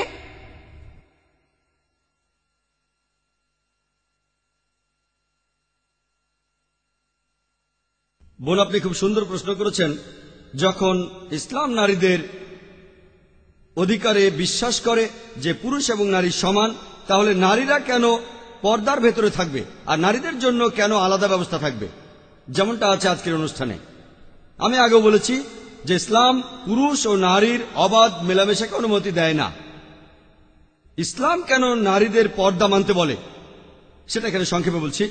আর আমি আপনাকে ধন্যবাদ জানাচ্ছি, কারণ আগে আমি নারীদের হিজাব নিয়ে কোনো কথা বলতে পারিনি। পবিত্রকরণে দেখবেন যে নারীদের হিজাবের কথা বলার আগে কোরআন বলছে পুরুষের হিজাবের কথা। পবিত্রকরণে সুরানুরের তিরিশ নম্বর আয়াতে উল্লেখ করা হয়েছে, বলা হয়েছে, মুমিনগণকে বলো, তারা যেন দৃষ্টি সংযত করে এবং লজ্জাস্থানের হেফাজত করে। পরের আয়াত সুরানুরের একত্রিশ নম্বর আয়াতে উল্লেখ করা হয়েছে, আর মুমিন নারীদিগকে বলো, তারা যেন দৃষ্টি সংযত ও লজ্জাস্থানের হেফাজত করে। আর যেটা প্রকাশ থাকে, সেটা ছাড়া যেন সৌন্দর্য প্রদর্শন না করে। তারা যেন তাদের মাথার কাপড় দিয়ে বক্ষদেশ আবৃত করে, শুধুমাত্র তাদের স্বামী, পিতা, পুত্র ছাড়া। এভাবে কিছু পুরুষের তালিকা দেওয়া হয়েছে, যাদের সামনে পর্দার প্রয়োজন নেই। আর এছাড়াও, মহিলাদের সামনে পর্দার প্রয়োজন নেই। এগুলো বাদে অন্যান্য জায়গায় হিজাব মানতে হবে। আর হিজাবের বিভিন্ন নিয়ম কানুন আপনারা পাবেন পবিত্র কোরআন সহি হাদিসে। ছয়টা নিয়ম আছে প্রথম নিয়মটা সীমা। এটাই হলো পুরুষ ও নারীর হিজাবের একমাত্র পার্থক্য। পুরুষদের জন্য তাদের ঢাকতে হবে নাভি থেকে হাঁটু পর্যন্ত। নারীদের জন্য পুরো শরীরটাই ঢাকতে হবে যে অংশটুকু এখানে খোলা থাকতে পারে, অনাবৃত থাকতে পারে, তাদের মুখ আর কবজি পর্যন্ত। যদি সেটাও ঢাকতে চায়, ঢেকে রাখতে পারে, তবে এটা আবশ্যিক না যে ঢাকতেই হবে। তাহলে পুরো শরীর ঢাকতে হবে যে অংশটুকু খোলা থাকতে পারে, অনাবৃত থাকতে পারে, সেটা হলো মুখ আর কবজি, দুই হাতের কবজি। এটাই হলো পুরুষ ও নারীদের মধ্যে হিজাবের একমাত্র পার্থক্য। হিজাবের দ্বিতীয় নিয়মটা হলো, আপনি যে পোশাকটা পরবেন, সেটা আটো সাটো হবে না যাতে শরীরের কাঠামো বোঝা যায়। যে পোশাকটা পরবেন, তৃতীয় নিয়মটা, সেই পোশাকটা এমন স্বচ্ছ হবে না যাতে ভেতরটা দেখা যায়। চতুর্থ নিয়ম, পুরুষ বা নারীদের কেউই জাকজমকপূর্ণ পোশাক পরবে না যেটা বিপরীত লিঙ্গকে আকৃষ্ট করে। পঞ্চম নিয়মটা হলো, আপনি এমন কোনো পোশাক পরবেন না যে পোশাক আসলে বিপরীত লিঙ্গরা পরে থাকে। যেমন দেখবেন, পুরুষরা কানে দুল পরে। যদি এক কানে দুল থাকে, সেটার একটা অর্থ আছে। যদি দুই কানে দুল থাকে সেটার আরেকটা অর্থ আছে। এটা ইসলামে নিষিদ্ধ। আর শেষ নিয়মটা হলো, আপনি এমন কোন পোশাক পরবেন না যাতে অবিশ্বাসীদের কোনো চিহ্ন থাকে। এগুলোই হলো পুরুষ ও নারীর হিজাবের ছটা নিয়ম ইসলামে। এবার আপনার প্রশ্নে আসি যে, ইসলাম কেন পর্দায় বিশ্বাস করে আর কেন পুরুষ ও নারী আলাদা থাকবে? এখন তুলনা করে দেখি যে সমাজে পর্দা আছে আর যে সমাজে পর্দা নেই, এই দুটোর মধ্যে পার্থক্য। পৃথিবীর মধ্যে যে দেশে সবচেয়ে বেশি অপরাধ সংঘটিত হয় সেটা আমেরিকা। আর একটা রিপোর্ট অনুযায়ী এফবিআই এর রিপোর্ট উনিশশো নব্বই সালে, সেখানে উনিশশো নব্বই সালে এক লাখ দুই হাজার পাঁচশো পঞ্চান্ন জন মহিলা ধর্ষিত হয়েছে। এই কেসগুলো রিপোর্ট করা হয়েছিল এফবিআই বলছে, মাত্র ষোলো পার্সেন্ট কেস রিপোর্ট করা হয়। আর আসল সংখ্যাটা জানতে চান, তাহলে এই এক লক্ষ দুই হাজার পাঁচশো পঞ্চান্ন জনকে ছয় দশমিক দুই পাঁচ দিয়ে গুণ করুন। তাহলে আপনারা দেখবেন প্রায় সাড়ে ছয় লক্ষ মহিলা আমেরিকাতে ধর্ষিত হয়েছে, শুধুমাত্র উনিশশো নব্বই সালে। আর এটাকে যদি বছর দিয়ে ভাগ করেন, তিনশো পঁয়ষট্টি দিন দিয়ে, তাহলে আপনারা দেখতে পাবেন এক হাজার সাতশো ছাপ্পান্ন জন মহিলা, এতজন মহিলা আমেরিকাতে প্রতিদিন ধর্ষিত। এটা ছিল উনিশশো নব্বই সালে। আর সেই রিপোর্টই বলছে, প্রতিদিন এক হাজার নয়শো জন মহিলা ধর্ষিত হয়েছে। হতে পারে এটা উনিশশো একানব্বই সালের রিপোর্ট। আমেরিকানরা বেশি সাহসী হয়েছে তখন। আর শেষ রিপোর্ট যেটা প্রকাশিত হয়েছিল উনিশশো তিরানব্বই সালে, সেটা বলছে প্রতি এক দশমিক তিন মিনিটে একজন মহিলা ধর্ষিত হচ্ছে। কারণ জানেন? কারণ আমেরিকা নারীদের অনেক অধিকার দিয়েছে, তাই অনেক মহিলা ধর্ষিত হচ্ছে। মাত্র দশ পার্সেন্ট অ্যারেস্ট করা হয়েছে। ষোলো পার্সেন্ট রিপোর্ট করা হয়েছে, তার মধ্যে দশ পার্সেন্ট অ্যারেস্ট হয়েছে। তার মানে সব মিলিয়ে মোট এক দশমিক ছয় পার্সেন্ট অ্যারেস্ট হয়েছে। আর তার মধ্যে পঞ্চাশ পার্সেন্টকে বিচার শুরুর আগে ছেড়ে দেওয়া হয়েছে। মানে সব মিলিয়ে দশমিক আট পার্সেন্ট ধর্ষণ কেসের বিচার করা হয়েছে। অর্থাৎ যদি কোনো পুরুষ একশো পঁচিশ জন মহিলাকে ধর্ষণ করে, তার এই মামলায় বিচার হওয়ার সম্ভাবনা ওয়ান পার্সেন্ট ব্যাপারটা ভয়াবহ। একশো পঁচিশ জন মহিলাকে ধর্ষণ করলে ধরা পড়বে মাত্র একজন। এর মধ্যে পঞ্চাশ পার্সেন্ট ক্ষেত্রে আপনার শাস্তি হবে এক বছরের কম কারাদণ্ড। যদিও আমেরিকার আইন আমাদের বলছে যে ধর্ষণের জন্য আপনার শাস্তি হবে, যাবজ্জীবন কারাদণ্ড। কিন্তু তারা বলে, এটা প্রথমবারের মতো হলো, সে প্রথমবার ধরা পড়েছে, তাই তাকে একটা সুযোগ দেওয়া যায়। শাস্তিটা হয় এক বছরের কম কারাদণ্ড। এমনকি ইন্ডিয়াতেও ন্যাশনাল ক্রাইম ব্যুরোর রিপোর্ট অনুযায়ী, যেটা, যে রিপোর্ট খবরের কাগজে এসেছিল উনিশশো বিরানব্বই সালের পহেলা ডিসেম্বরে, এটা বলছে যে প্রতি চুয়ান্ন মিনিটে একটা ধর্ষণের কেসে রিপোর্ট করা হয় ইন্ডিয়াতে। রিপোর্ট করা হয়। প্রতি ২৬ মিনিটে ইন্ডিয়ায় একজন মহিলাকে উত্তক্ত করা হয়। প্রতি এক ঘণ্টা তেতাল্লিশ মিনিটে যৌতুকের কারণে একজন মারা যায়। যদি আমাদের দেশে ঘটিত ধর্ষণের সংখ্যা জানতে পারি, তাহলে দেখব প্রতি মিনিটে একজন করে মহিলা ধর্ষিত হচ্ছে। আমি একটা সহজ প্রশ্ন করি, যদি সব মহিলা হিজাব মেনে চলে, তাহলে আমেরিকাতে ধর্ষণের সংখ্যা এটা কি একই রকম থাকবে? কমে যাবে নাকি বেড়ে যাবে? যদি ইন্ডিয়াতে প্রত্যেক মহিলা হিজাব পালন করে, তাহলে ইন্ডিয়ায় ধর্ষণের সংখ্যা কমে যাবে? একই রকম থাকবে নাকি সেটা বেড়ে যাবে? আপনারা ইসলামকে দেখবেন সামগ্রিকভাবে। তারপর ধরুন, যদি সব মহিলা হিজাব মেনে চলে, আর একজন মহিলা হিজাব মানুক বা না মানুক, পুরুষদের নির্দেশ দেওয়া হয়েছে দৃষ্টি সংযত করতে, তারপরও যদি একজন পুরুষ কাউকে ধর্ষণ করে ইসলামের আইনে তখন তার মৃত্যুদণ্ড হবে। আপনারা এটাকে বলবেন বর্বর আইন। আমি এই প্রশ্নটা অনেককেই করেছি। ধরুন, এই প্রশ্নটা আমি করেছি অনেক লোককে। ধরুন, আপনার বোন ধর্ষিত হয়েছে, আপনি সেখানে জজ ইসলামকে বলে সেটা ভুলে যান, ইন্ডিয়ার আইনকে বলে সেটা ভুলে যান, আমেরিকান আইন কি বলে সেটা ভুলে যান। আপনি যদি সেখানে বিচারক হন, তাহলে আপনার বোনের ধর্ষণকারীকে কি শাস্তি দেবেন? আর তারা সবাই বলেছে, মৃত্যুদণ্ড দেব। কেউ কেউ এরকমও বলেছে, তাকে টর্চার করে মারব। আমি আপনাদের একটা প্রশ্ন করি। যদি আপনারা আমেরিকাতে ইসলামিক শরিয়া প্রতিষ্ঠা করেন, তাহলে কি ধর্ষণের সংখ্যা কমে যাবে? সেটা কি একই রকম থাকবে, নাকি বেড়ে যাবে? যদি ইন্ডিয়া ইসলামিক শরিয়া প্রতিষ্ঠা করেন, তাহলে কি ধর্ষণের সংখ্যা কমে যাবে? একই রকম থাকবে, নাকি বেড়ে যাবে? তাহলে আসুন, বাস্তবের সাথে মিলিয়ে দেখি। আপনারা নারীদের কাগজে কলমে অনেক অধিকার দিয়েছেন, তবে বাস্তবে নারীদের নামিয়ে দিচ্ছেন উপপত্নী আর রক্ষিতার স্তরে। আমি এখানে যদি ইসলামে নারীর পর্দা নিয়ে কথা বলি, সারাদিনই কথা বলতে পারব। তবে এখন আমি একটা উদাহরণ দিয়ে আমি আমার এই উত্তরটা শেষ করতে চাই। ধরুন দুজন মহিলা, দুই যমজ বোন, দুজনে খুবই সুন্দরী, তারা রাস্তা দিয়ে হেঁটে যাচ্ছে, আর রাস্তার পাশেই একটা মাস্তান দাঁড়িয়ে আছে, মহিলাদের উত্তর করার জন্য, মেয়েদের টিচ করার জন্য। দুই যমজ বোন হেঁটে যাচ্ছে, দুজনে একই রকম সুন্দরী, একজন ইসলামিক হিজাব পরে আছে, অন্যজন পরে আছে একটা মিনি স্কার্ট।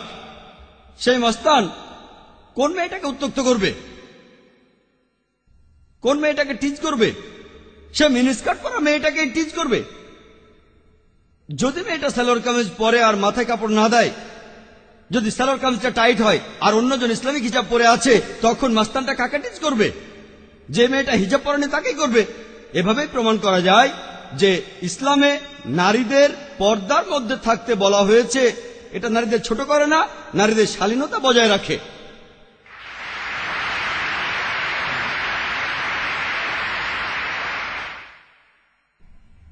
মিসেস অরুণা বুলতের জন্য একটা ঘোষণা আছে। আপনার স্বামী আপনার জন্য গেটের সামনে অপেক্ষা করছেন। মিসেস অরুণা ভুলতে আপনি দয়া করে অডিটোরিয়ামের বাইরে গিয়ে আপনার স্বামীর সাথে যোগাযোগ করেন। এরপরের প্রশ্ন। আসসালামু আলাইকুম। আমার নাম বিলাল লালা। আমি মুসলমান হয়েছি। পেশায় আমি কম্পিউটারের উপর একজন লেকচারার। একটা প্রশ্নের উত্তর আমি অনেকদিন ধরেই খুঁজছি। আর প্রশ্নটা হলো, ইসলাম ধর্ম অনুমতি দিয়েছে একজন মুসলিম পুরুষ তার পছন্দ মতো বিয়ে করতে পারে, আহলে কিতাবীদের মধ্য থেকে, ইহুদি অথবা খ্রিস্টান। মুসলিম নারীরা কেন পারবে না? এই মুসলিমদের স্ত্রীরা কি মুশরিক নয়?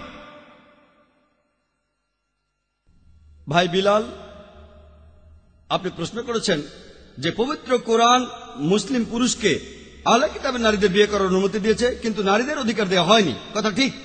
পবিত্র কোরআনের সুরা মাহিদার পাঁচ নম্বর আয়াতে উল্লেখ করা হয়েছে যে, আজকের এই দিনে তোমাদের জন্য হালাল করা হলো সমস্ত ভালো আর বিশুদ্ধ জিনিস। যাদেরকে কিতাব দেওয়া হয়েছে, তাদের খাদ্য তোমাদের জন্য হালাল। এবং তোমাদের খাদ্যদ্রব্য তাদের জন্য বৈধ করা হয়েছে।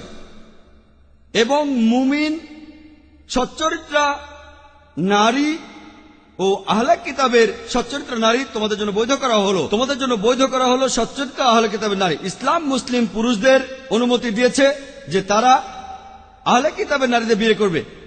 কেন? কারণ যখন একজন খ্রিস্টান অথবা ইহুদি নারী কোনো মুসলিম পুরুষকে বিয়ে করে, সে বিয়ে করার পর তার স্বামীর পরিবারের লোকেরা, তারা তার নবীদের নিয়ে কোনো কটু মন্তব্য করবে না। কারণ, ইসলাম ধর্মে আমরা খ্রিস্টান আর ইহুদিদের সব নবীকে বিশ্বাস করি। তারা যে নবীদের মেনে চলে, আমরাও তাদের মানি। এখানে আমরা সবাই আদমকে মানি নূকে মানি, দাউদকে মানি, মুসাকে মানি ইসাকে মানি, তারা সবাই শান্তিতে থাকুন। যেহেতু আমরা তাদের সব নবীকেই মানি, সেহেতু সেই আহলে কিতাবের নারীকে আমরা উপহাস করব না। এখন মুসলিম নারীর ব্যাপার। যদি কোনো মুসলিম নারী কোনো খ্রিস্টান বা ইহুদি পরিবারে বিয়ে করে, তারা আমাদের নবীজি মোহাম্মদ সাল্লামকে মানে না, আর সেই নারীকে উপহাস করা হবে। সেজন্য ইসলাম অনুমতি দিয়েছে মুসলিম পুরুষদের যে তারা আহলে কিতাবের নারীকে বিয়ে করতে পারবে, কিন্তু মুসলিম নারী সেটা পারবে না। এবার আপনার প্রশ্নের দ্বিতীয় অংশে আসি, যে এই মুসলিমদের স্ত্রীরা কি মুশরিক নয়? ভাই, আপনি এখানে কোরআনের একটি আয়াতের কথা বলেছেন, পবিত্র কোরআনে সুরা বাকারার দুশো একুশ নম্বর আয়াতে বলা হয়েছে যে মুশরিক নারীকে ইমান না আনা পর্যন্ত তোমরা বিয়ে করো না। এমনকি একজন কৃতদাসী যদি মুমিন হয়, সে একজন মুসলিম নারীর চেয়ে উত্তম। যদি সে তোমাদের মুগ্ধ করে, অর্থাৎ এমনকি ইংল্যান্ডের যে রানী, ধরেন তিনি সবচেয়ে ধনী মহিলা, ধরেন তিনি পৃথিবীর সবচেয়ে সুন্দরী মহিলা, তারপরও একজন ঝাড়দান্নি, একজন কৃতদাসী, যে মুমিন নারী, সে পৃথিবীর সবচেয়ে সুন্দরী মুসলিক মহিলার চেয়ে উত্তম অবশ্যই। এই আয়াত আরও বলছে, তোমাদের মেয়েদের বিয়ে দিও না মুসলিক কোন পুরুষের সাথে ইমান না আনা পর্যন্ত। আর একজন মুমিন কৃতদাসও, সে একজন মুসলিম পুরুষের চেয়ে উত্তম যদি সে তোমাদের মুগ্ধ করে। পবিত্রকরণে আরেকটা আয়াত আমাদের বলছে, সুরা মাইদার বাহাত্তর নম্বর আয়াতে উল্লেখ করা হয়েছে, বলা হয়েছে ইন্নাল্লাহ মারিয়ামা। তারা ধর্মের অবমাননা করছে, তারা তো কুফরি করছে। যারা এমনটা বলে যে যিশু হলেন মসি মরিয়ামের পুত্র।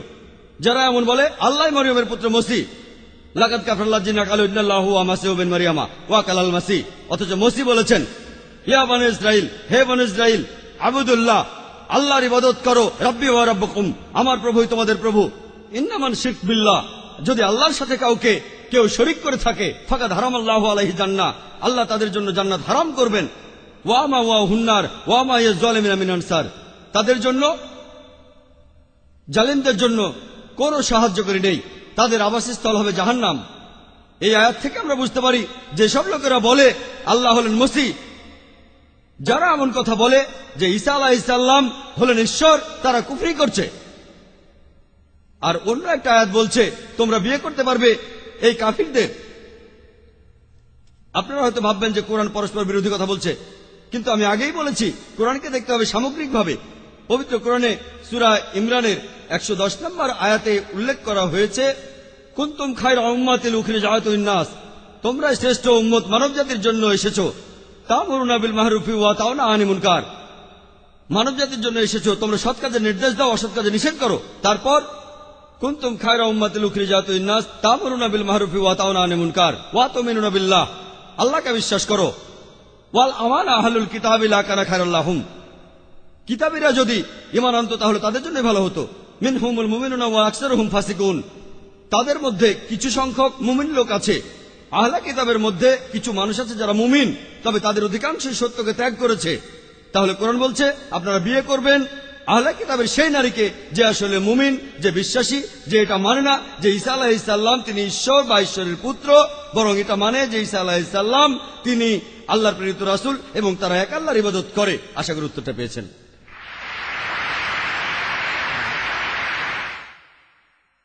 আসসালামু আলাইকুম আমার নাম ফাতিমা, মহারাষ্ট্র সরকারের একজন সেক্রেটারি।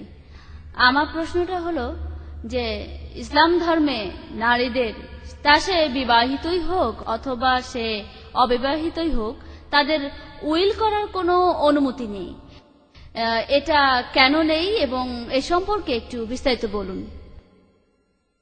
বোন, আপনি প্রশ্ন করলেন যে ইসলাম ধর্মে কেন একজন নারী হোক সে বিবাহিত বা অবিবাহিত, তার উইল করার কোনো অনুমতি নেই। এ কথাটা পুরোপুরি ভুল। আর আমি আমার লেকচারও বলেছি, ইসলাম নারীদের অর্থনৈতিক অধিকার দিয়েছে পশ্চিমাদের চাইতে তেরোশো বছর আগে। আর আমি পরিষ্কারভাবে বলতে চাই, যে কোনো প্রাপ্তবয়স্ক নারী, অবশ্য সে নারী অপ্রাপ্তবয়স্ক হলে উইল করতে পারবে না। সেই নারীর উইল করার কোনো অধিকার থাকবে না, কারণ সে সাবালিকা নয়। যে কোনো প্রাপ্তবয়স্ক নারী, এখানে সে হোক অবিবাহিত বা বিবাহিত, তার অধিকার আছে, সম্পদের মালিক হওয়ার বা সেটা দান করে দেওয়ার। কারও পরামর্শ দরকার নেই। যদি সে চায়, সে কারও পরামর্শ নিতে পারে, না চাইলে নাও নিতে পারে। এছাড়াও তার উইল করার অধিকার আছে। ইসলাম নারীকে এই অধিকারটাও দিয়েছে। আশা করি উত্তরটা পেয়েছেন।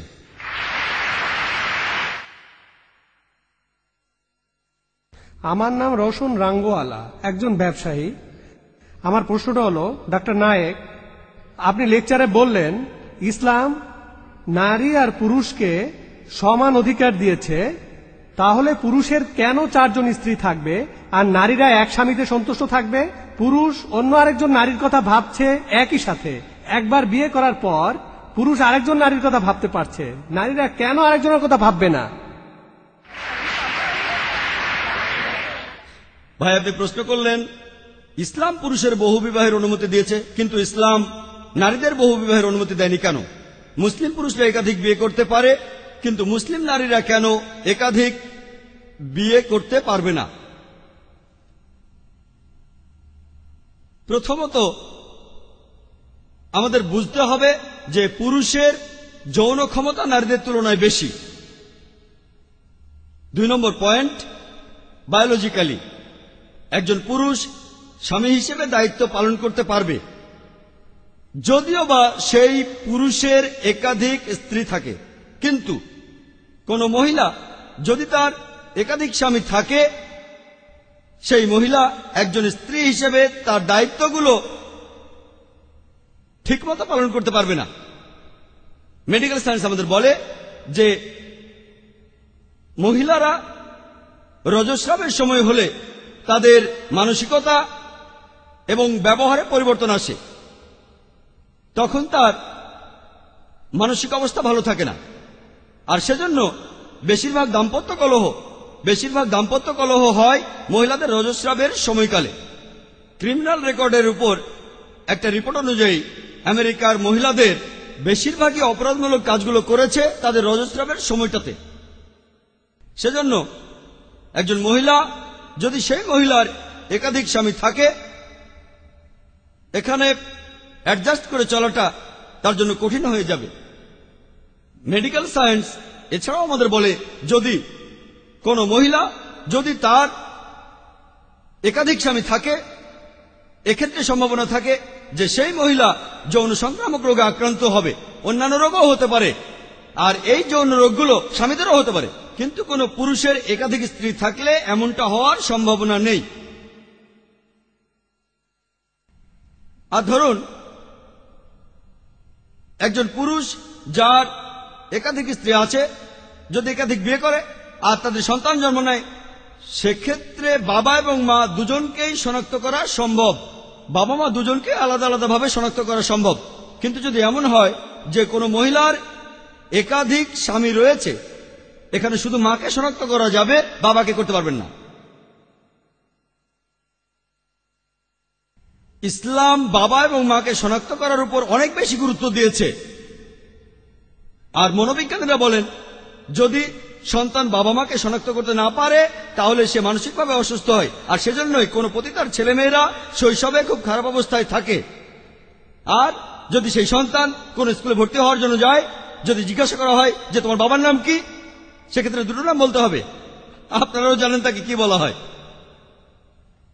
এরকম অনেক কারণেই বহুবিবাহের অনুমতি নাই মেয়েদের। এখন যদি যুক্তি দেন যে আমি বলেছি, কেন ইসলাম ধর্মে পুরুষের বহুবিবাহের অনুমতি দিয়েছে? এখন ধরুন, যদি কোন দম্পতির সন্তান ধারণ ক্ষমতা না থাকে, পুরুষ সেক্ষেত্রে একাধিক নারীকে বিয়ে করতে পারে। এখন ধরুন, এক্ষেত্রে পুরুষটাই বন্ধা, সেক্ষেত্রে সেই মহিলা কি একাধিক পুরুষকে বিয়ে করতে পারবে? না। কারণ কোন ডাক্তার গ্যারান্টি দিতে পারবে না যে সেই পুরুষ একশো পার্সেন্ট বন্ধা। এমনকি যদি ভ্যাসেকটমিও করায়, যদি নেসব্যান্ডিও করায়, কোন ডাক্তার গ্যারান্টি দিতে পারবে না, সেই পুরুষ বাবা হতে পারবে না। তাই এক্ষেত্রেও সেই সন্তানের বাবাকে শনাক্ত করা যাবে না। আরেকটা ক্ষেত্রে, ধরুন, স্বামী কোনো অ্যাক্সিডেন্ট করল অথবা শারীরিকভাবে খুবই অসুস্থ হয়ে পড়ল, এক্ষেত্রে সেই স্ত্রী কি আরেকটা বিয়ে করতে পারবে? আসুন দেখি। ধরুন সেই স্বামী যদি কোনো অ্যাক্সিডেন্ট করে অথবা অসুস্থ হয়ে পড়ে, সে তার দায়িত্বগুলো ভালোভাবে পালন করতে পারবে না। প্রথমত টাকা পয়সার ব্যাপার।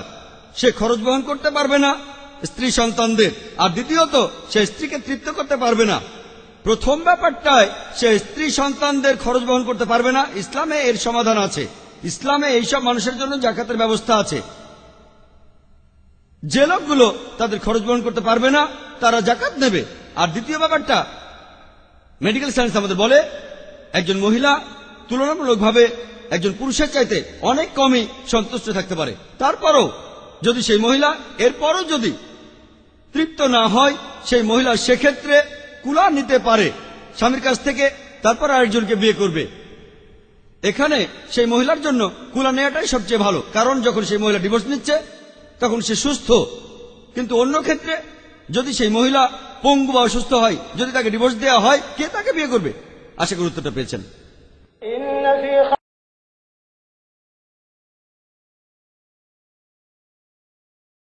আমার নাম শাইলা হাকিম।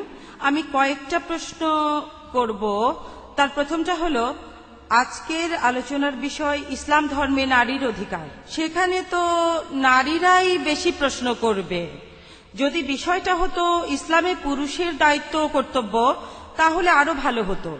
আমার প্রশ্নটা হলো, আপনি আপনার লেকচারে বললেন, খুবই সুন্দরভাবে বললেন, যে একজন মহিলা না বলতে পারে, যদি সে একজন বিশেষ লোককে বিয়ে করতে না চায়, তবে। আপনার লেকচারে আপনি নিজেই বলেছেন যে, নারীরা অর্থনৈতিকভাবে স্বনির্ভর হতে পারে না। এই কারণে যে সে উপার্জন করে না। আর এই লোকগুলিকে মেয়েটা না বলার পরেও মেয়েটার দেখাশোনা করবে?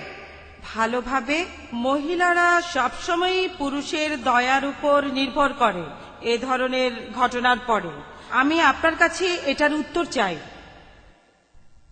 এক্সকিউজ মি আপনি দয়া করে আপনার প্রশ্নটা দুই বা তিন সেন্টেন্সে বলতে পারেন। আপনি আসলে কোন উত্তরটা চাচ্ছেন? আমি এখানে উপস্থিত সব শ্রোতাদেরই অনুরোধ করব, অল্প কথায় আপনাদের প্রশ্নটা করবেন। সামাজিক পটভূমিটা আপনাদের মতো ডক্টর জাকিরও কিছুটা জানেন। আপনার প্রশ্নটা অল্প কথায় বলেন।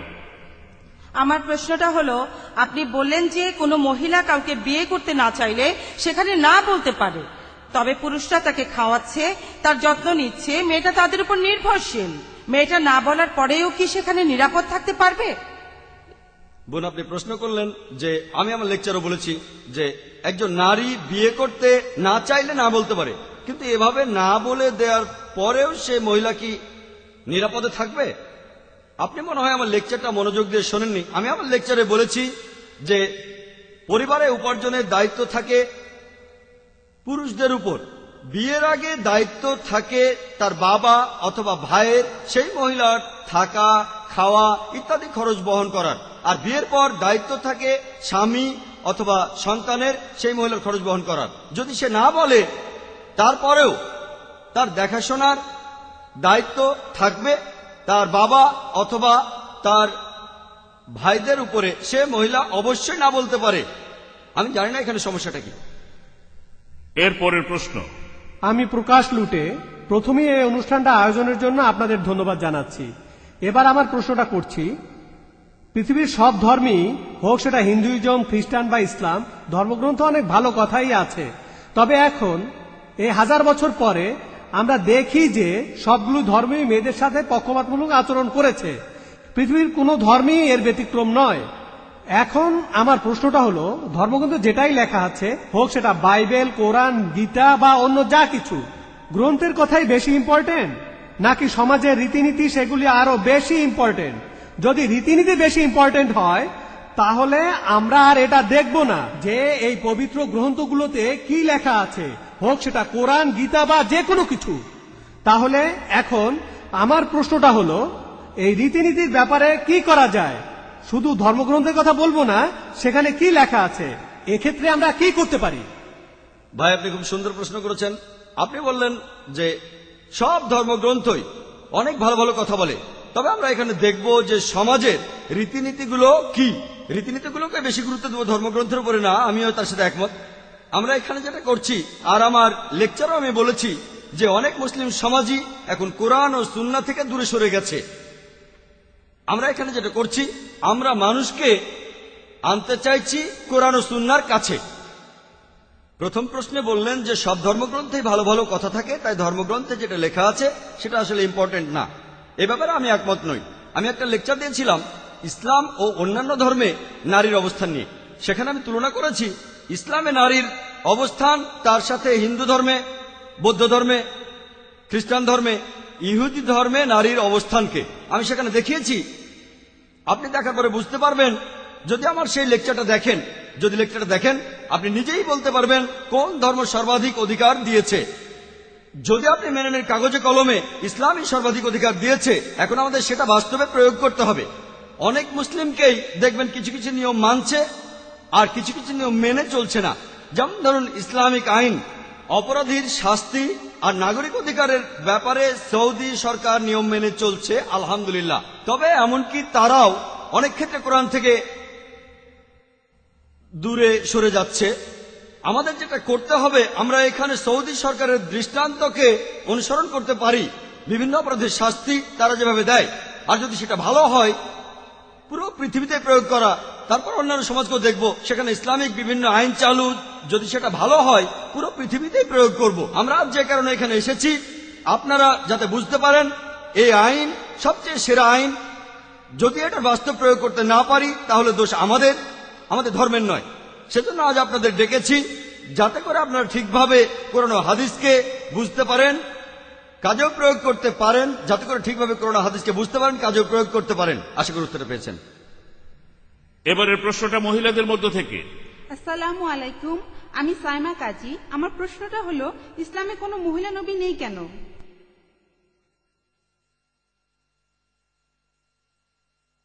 বোন আপনি প্রশ্ন করলেন কেন ইসলাম ধর্মে কোনো মহিলা নবী নেই? যদি নবী বলতে বুঝিয়ে থাকেন, যে ব্যক্তির কাছে ওহি নাজিল হয় আর যিনি অন্যান্যদের নেতা হিসেবে কাজ করেন, তাহলে কথা আমি নিশ্চিতভাবে বলতে পারি যে ইসলাম ধর্মে কোনো মহিলা নবী নেই। আমার মতে এটাই সঠিক। কারণ যদি কোন মহিলা কখনো আল্লাহ নবী হতেন, কোরআন পরিষ্কারভাবে বলেছে যে পুরুষ হলো তার পরিবারের নেতা। তাহলে পরিবারের নেতায় যখন পুরুষ, তাহলে একজন নারী কীভাবে সমাজের সব মানুষকে নেতৃত্ব দেবে? এবারে দ্বিতীয় অংশে আসি। একজন নবী জামাতের নামাজের সময় সাধারণত ইমামতি করেন। আর আমি আগেও বলেছিলাম যে নামাজের বিভিন্ন ভঙ্গি, যেমন কায়াম, রুকু, সেজদা, দাঁড়ানো, মাথা নোয়ানো আর উপর হয়ে সেজদা, যদি এগুলো মহিলা নবী করতেন, তাহলে পেছনে যারা নামাজ পড়বে তাদের অসুবিধা হতো। আর এছাড়াও দেখবেন যে নবীজি সাধারণ মানুষের সাথে প্রায় প্রতিদিনই দেখা করতেন। কোন মহিলা নবী থাকলে ইসলাম পুরুষ ও নারীর অবাধ মেলামেশার অনুমতি দেয় না। যদি কোনো মহিলা নবী হতেন আর তিনি অন্তঃসত্ত্বা হন, সে সময় তিনি বেশ কয়েক মাসের জন্য তার দায়িত্বগুলো পালন করতে পারবেন না। যদি তার সন্তান থাকে তাহলে তার জন্য একই সাথে নবী ও মায়ের দায়িত্ব পালন করা কঠিন হয়ে যাবে।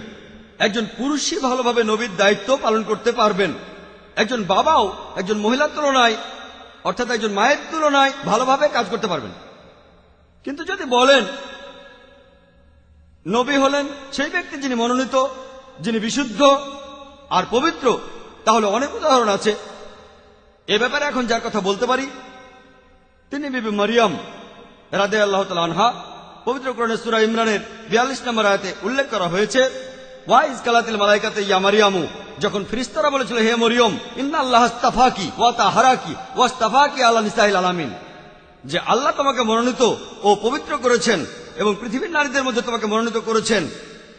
যদি আপনি বলেন, নবী মানে সেই ব্যক্তি যিনি মনোনীত, যিনি বিশুদ্ধ, তাহলে আমরা এখানে উদাহরণ হিসেবে পাচ্ছি বিবি মারিয়াম রাজি আল্লাহ আনহা।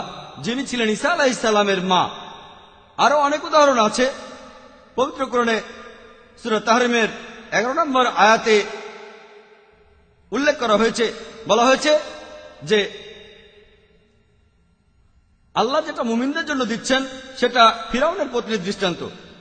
বিবি আসিয়া রাজি আল্লাহ তালা আনহা, তিনি আল্লাহ তালার কাছে প্রার্থনা করেছিলেন আমার জন্য তোমার কাছে জান্নাতে একটি গৃহ নির্মাণ করো, আর আমাকে ফিরাউন ও তার দুষ্কৃতি হতে উদ্ধার করো। চিন্তা করেন, তিনি ছিলেন সে সময়ের সবচেয়ে শক্তিশালী ফারাওয়ের স্ত্রী। তিনি সব রকম বিলাস বেসনের বদলে আল্লাহ সুবাহর কাছে চেয়েছিলেন বেহেস্তের মধ্যে একটি ঘর। ইসলাম ধর্মে এমন চারজন মহিলা নবী আছেন। একজন বিবি মরিয়ম, একজন বিবি আসিয়া, আল্লাহ তাদের শান্তিতে রাখুন। এছাড়াও অন্য নবীরা হলেন বিবি ফাতিমা ও বিবি খাদিজা আল্লাহ তাদেরকেও শান্তিতে রাখুন। আশা করি উত্তরটা পেয়েছেন। এখানে কিছু দর্শক শ্রোতা আছেন যারা মাইকের সামনে এসে প্রশ্ন করতে চান না। তাদের জন্য চিরকুটের ব্যবস্থা রয়েছে। মাইকে আর তিনটা প্রশ্নের পরে আমরা চিরকুট থেকেও বিভিন্ন প্রশ্ন করব। এবারে পরের প্রশ্ন। আমার নাম সমীর আমি একজন স্টুডেন্ট। আমি যে প্রশ্নটা করব আপনি বললেন যে ইসলামে পুরুষদের বিয়ে করার একটা সর্বোচ্চ সীমা রয়েছে। কিন্তু নবী মোহাম্মদের কেন এগারো জন স্ত্রী ছিল? এভাবে কি বলা যায় যে তার যৌন আকাঙ্ক্ষা বেশি ছিল? ভাই, আপনি প্রশ্ন করলেন যে ইসলামে পুরুষদের বিয়ে করার সর্বোচ্চ সীমা যখন চারটা, তখন নবীজির কেন এগারো জন স্ত্রী ছিল? আমি আপনার সাথে একমত। যে পবিত্র করণের সুর নিসার তিন নম্বর আয়াতে উল্লেখ করা হয়েছে যে তোমরা সর্বোচ্চ চারজন স্ত্রীকে বিয়ে করতে পারবে। কিন্তু আরেকটা আয়াতে আছে, সুরা আহজাবের বাহান্ন নম্বর আয়াতে উল্লেখ করা হয়েছে, এরপরে তোমার জন্য কোনো নারী বৈধ নয় এবং তোমার স্ত্রীদের পরিবর্তে অন্য স্ত্রী গ্রহণও বৈধ নয় যদি তাদের সৌন্দর্য তোমাকে মুগ্ধ করে। তবে তোমার দাসীদের ব্যাপারে এটা প্রযোজ্য নয়। পবিত্রকরণে এই আয়াত, সুরা আহজাবের বান্ন নম্বর আয়াতে কথা উল্লেখ করা হয়েছে, যেখানে নবীজিকে অনুমতি দেওয়া হয়েছে যে তিনি তার সব স্ত্রীকে রাখবেন, কিন্তু একই সাথে তিনি অন্য কাউকে বিয়ে করতে পারবেন না। যদি ভালো করে দেখেন, কেন নবীজির জন্য অন্য নারীকে বৈধ করা হয়নি? আর এছাড়াও তিনি তাদেরকে তালাকও দিতে পারবেন না। কারণ পবিত্রকরণে আরও একটি আয়াতে বলা হয়েছে যে, রাসুলের পত্নীদেরকে বিয়ে করা তারা তালাকপ্রাপ্ত হোক অথবা বিধবা হোক, তোমাদের জন্য তারা বৈধ নয়, কারণ তারা উম্মুল মুমিনিন। তারা হলেন মুমিনদের মা। তাহলে কেউ নবীজির স্ত্রীদের বিয়ে করতে পারবে না, আর এছাড়াও নবীজি তালাকও দিতে পারবেন না। আর যদি ভালো করে দেখেন যে, নবীজি কেন এগারোটা বিয়ে করেছিলেন, সেগুলো হয় সমাজ সংস্কারের জন্য অথবা রাজনৈতিক কোনো কারণে যৌনতৃপ্তির জন্য নয়। তিনি প্রথম যে বিয়েটা করেছিলেন, তিনি ছিলেন বিবি খাদিজা রাদি আল্লাহ তখন তার বয়স ছিল চল্লিশ বছর, আর নবীজির ছিল মাত্র পঁচিশ বছর। আর তিনি ছিলেন একজন বিধবা। দুইবার। চিন্তা করেন, নবীজি সেক্সের জন্য বিয়ে করলে এমন মহিলাকে কেন বিয়ে করবেন, যিনি নবীজির চেয়ে পনেরো বছরের বড়? আর যিনি বিধবা হয়েছিলেন দুইবার। যদি ভালো করে দেখেন, যতদিন বিবি খাদিজা রাজে আল্লাহ তিনি যতদিন বেঁচে ছিলেন, নবীজি ততদিন অন্য কোনো মহিলাকে বিয়ে করেননি। যখন তার বয়স পঞ্চাশ, তখন বিবি খাদিজা রাজে আল্লাহ মারা গেলেন। নবীজি তিপান্ন বছর বয়স থেকে ছাপান্ন বছরের মধ্যে অন্যান্য স্ত্রীদের বিয়ে করেছিলেন। যদি তার যৌন আকাঙ্ক্ষা বেশি থাকতো, তাহলে বিয়েগুলো তরুণ বয়সে করতেন।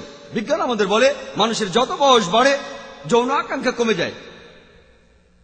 এটা নবীজির উপরে দোষারোপ করা। মাত্র দুটো বিয়ে করেছিলেন স্বাভাবিক পরিস্থিতিতে। একজন বিবি খাদিজা, অন্যজন বিবি আয়েশা। আল্লাহ তাদের দুজনকেই শান্তিতে রাখুন। অন্য সবগুলো বিয়ে ছিল বিভিন্ন পরিস্থিতিতে। হয় সমাজের কোনো সংস্কার অথবা রাজনৈতিক কারণে। যদি নবীজির বিয়েগুলো দেখেন, তার মধ্যে দুজনের বয়স ছিল ছত্রিশ বছরের নিচে, আর অন্যান্য সব স্ত্রীদের বয়স ছিল ছত্রিশ বছর থেকে পঞ্চাশের মধ্যে। প্রত্যেকটা দেখতে পারেন, প্রত্যেকটাতে কিছু কারণ ছিল। যেমন বিবি জোহারিয়া, তিনি ছিলেন বারমুস্তালিক গোত্রের মহিলা। এই গোত্রটা খুবই শক্তিশালী ছিল, আর মুসলিমদের সাথে বিরোধ ছিল।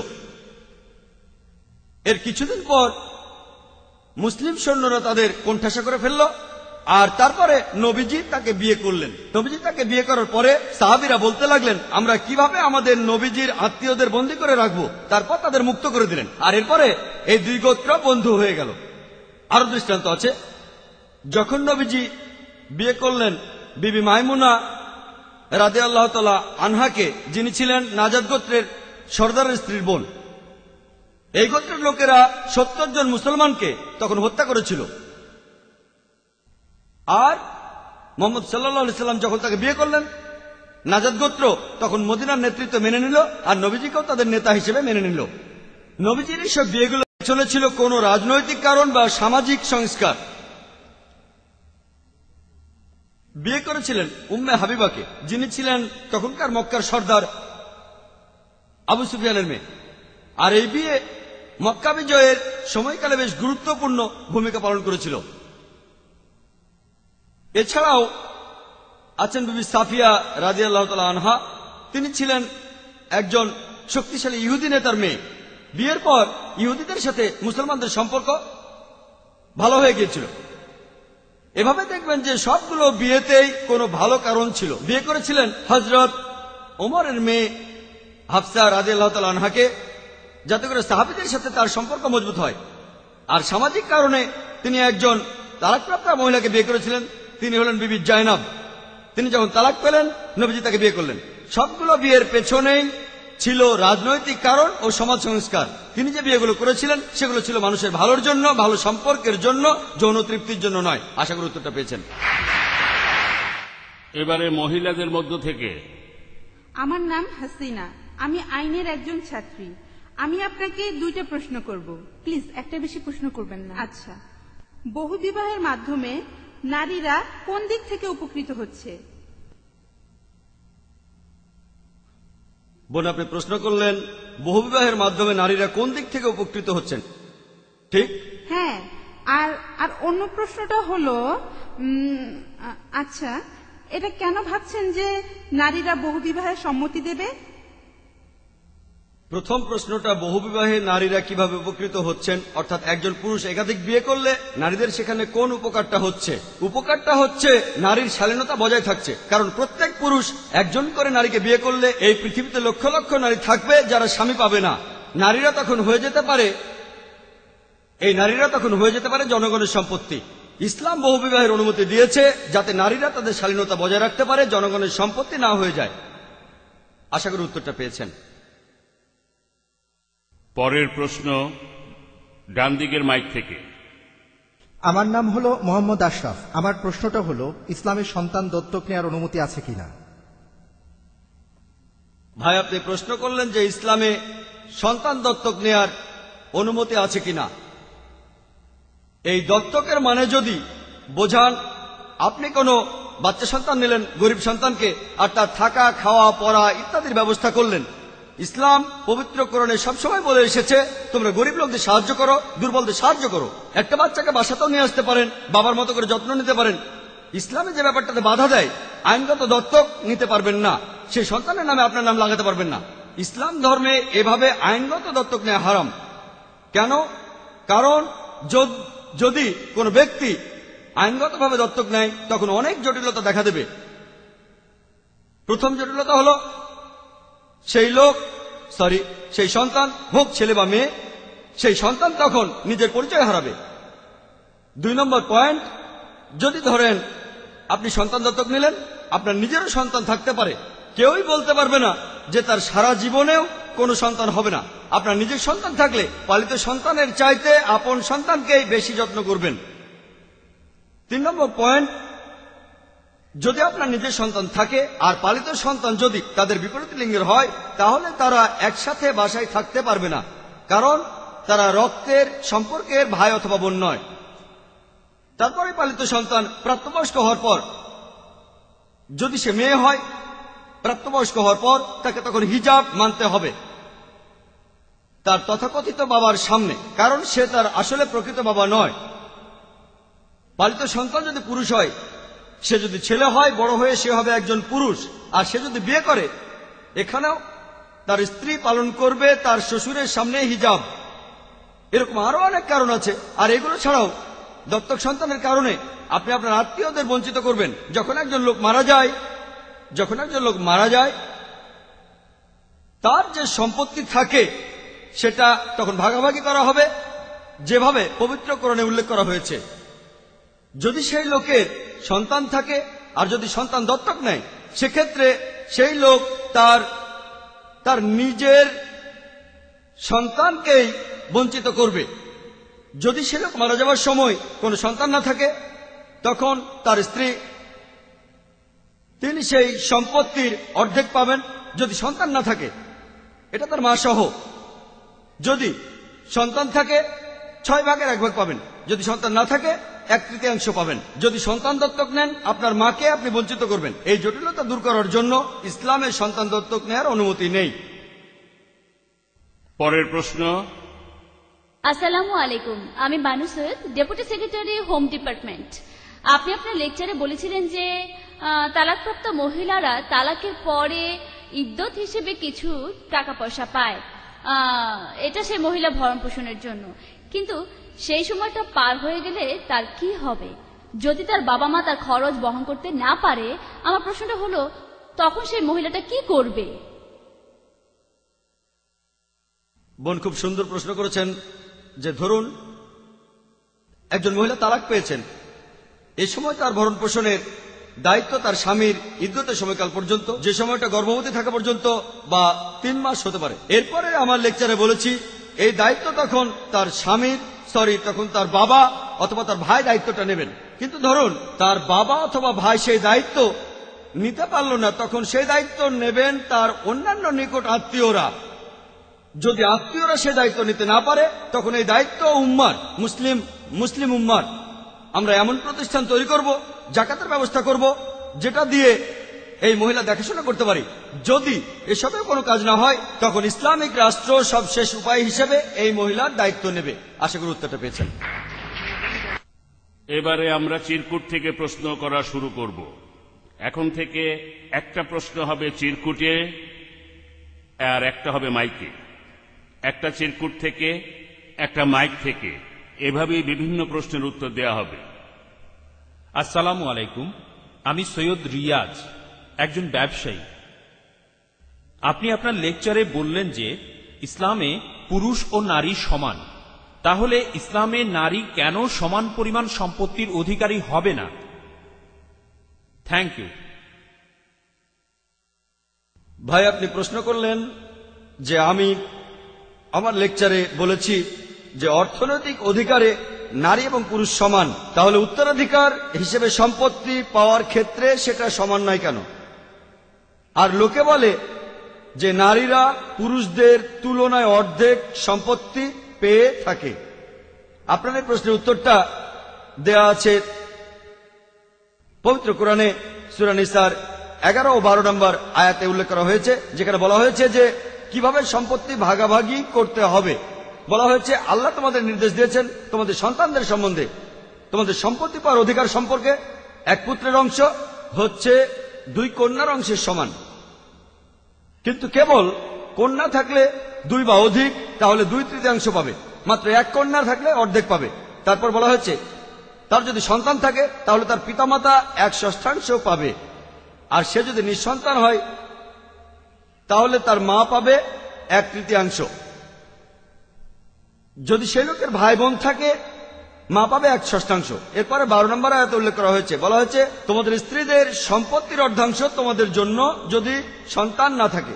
আর তোমরা এক চতুর্থাংশ পাবে সন্তান থাকলে। আর তোমার স্ত্রীদের জন্য তোমার সম্পত্তির এক চতুর্থাংশ যদি কোনো সন্তান না থাকে। আর এক অষ্টাংশ যদি সন্তান থাকে। এক কথায়, উত্তরাধিকার হিসেবে নারীরা পুরুষদের তুলনায় অর্ধেক সম্পত্তি পেয়ে থাকে। তবে এটা সব ক্ষেত্রেই নয়। যেমন ধরুন, একই মায়ের গর্ভে জন্মানো ভাই ও বোন দুজনেই পাবে এক ষষ্ঠাংশ যদি সেই লোকের বংশধর বা পূর্বপুরুষ না থাকে, দুজনেই সমান পাবে। যদি সেই লোকের কোনো সন্তান না থাকে, তাহলে তার বাবা মা দুজনেই সমান অংশ পাবে এক ষষ্ঠাংশ। আর বিশেষ কিছু ক্ষেত্রে যে মারা গেছে, সে যদি মহিলা হয়, কোনো সন্তান না থাকলে তার স্বামী এখানে পাবে অর্ধেক। মা পাবে এক তৃতীয়াংশ, আর বাবা পাবে এক ষষ্ঠাংশ। তার মানে কিছু কিছু ক্ষেত্রে নারীরা অনেক সময় পুরুষদের চাইতে দ্বিগুণ সম্পত্তি পেয়ে থাকে।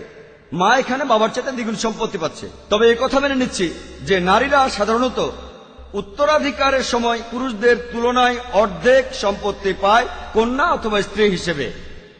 এটার উত্তর আমি বলব, সেটা হলো যেহেতু পুরুষ, যেহেতু পুরুষরা পরিবারের অর্থনৈতিক বিভিন্ন বিষয়ের দায়িত্ব নেবে তাই তাদের সাথে যেন অবিচার করা না হয়। সেজন্য আল্লাহ পুরুষদের নারীদের তুলনায় বেশি পরিমাণে সম্পত্তির অধিকার দিয়েছেন। তা না হলে এখানে লেকচার দিতাম, ইসলামে পুরুষের অধিকার।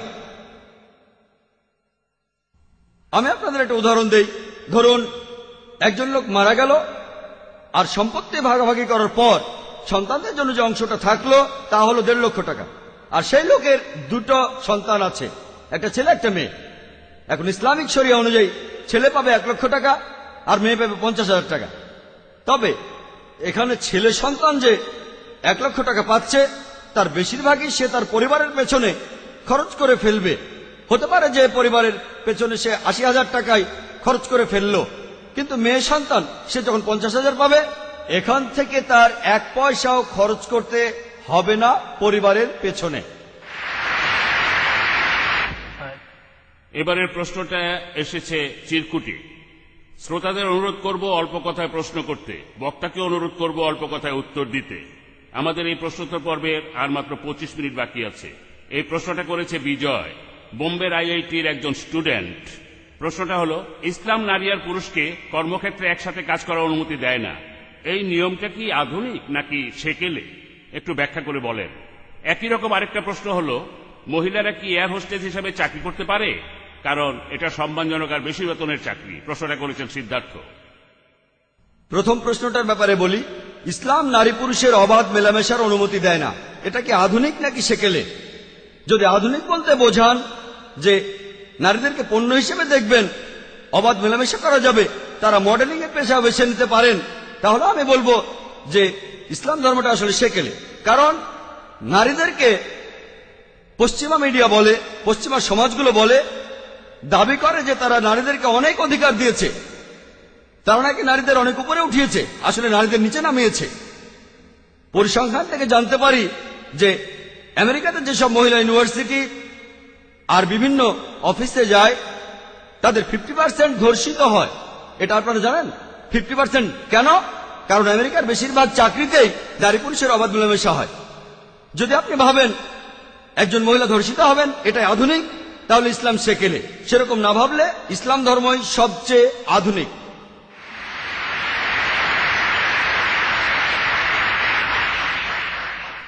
এবার দ্বিতীয় প্রশ্নের ব্যাপারে বলি যে একজন মহিলা কি এয়ার হোস্টেস হিসেবে চাকরি করতে পারবে? কারণ এটা বেশি বেতনের চাকরি আর সম্মানজনক পেশা।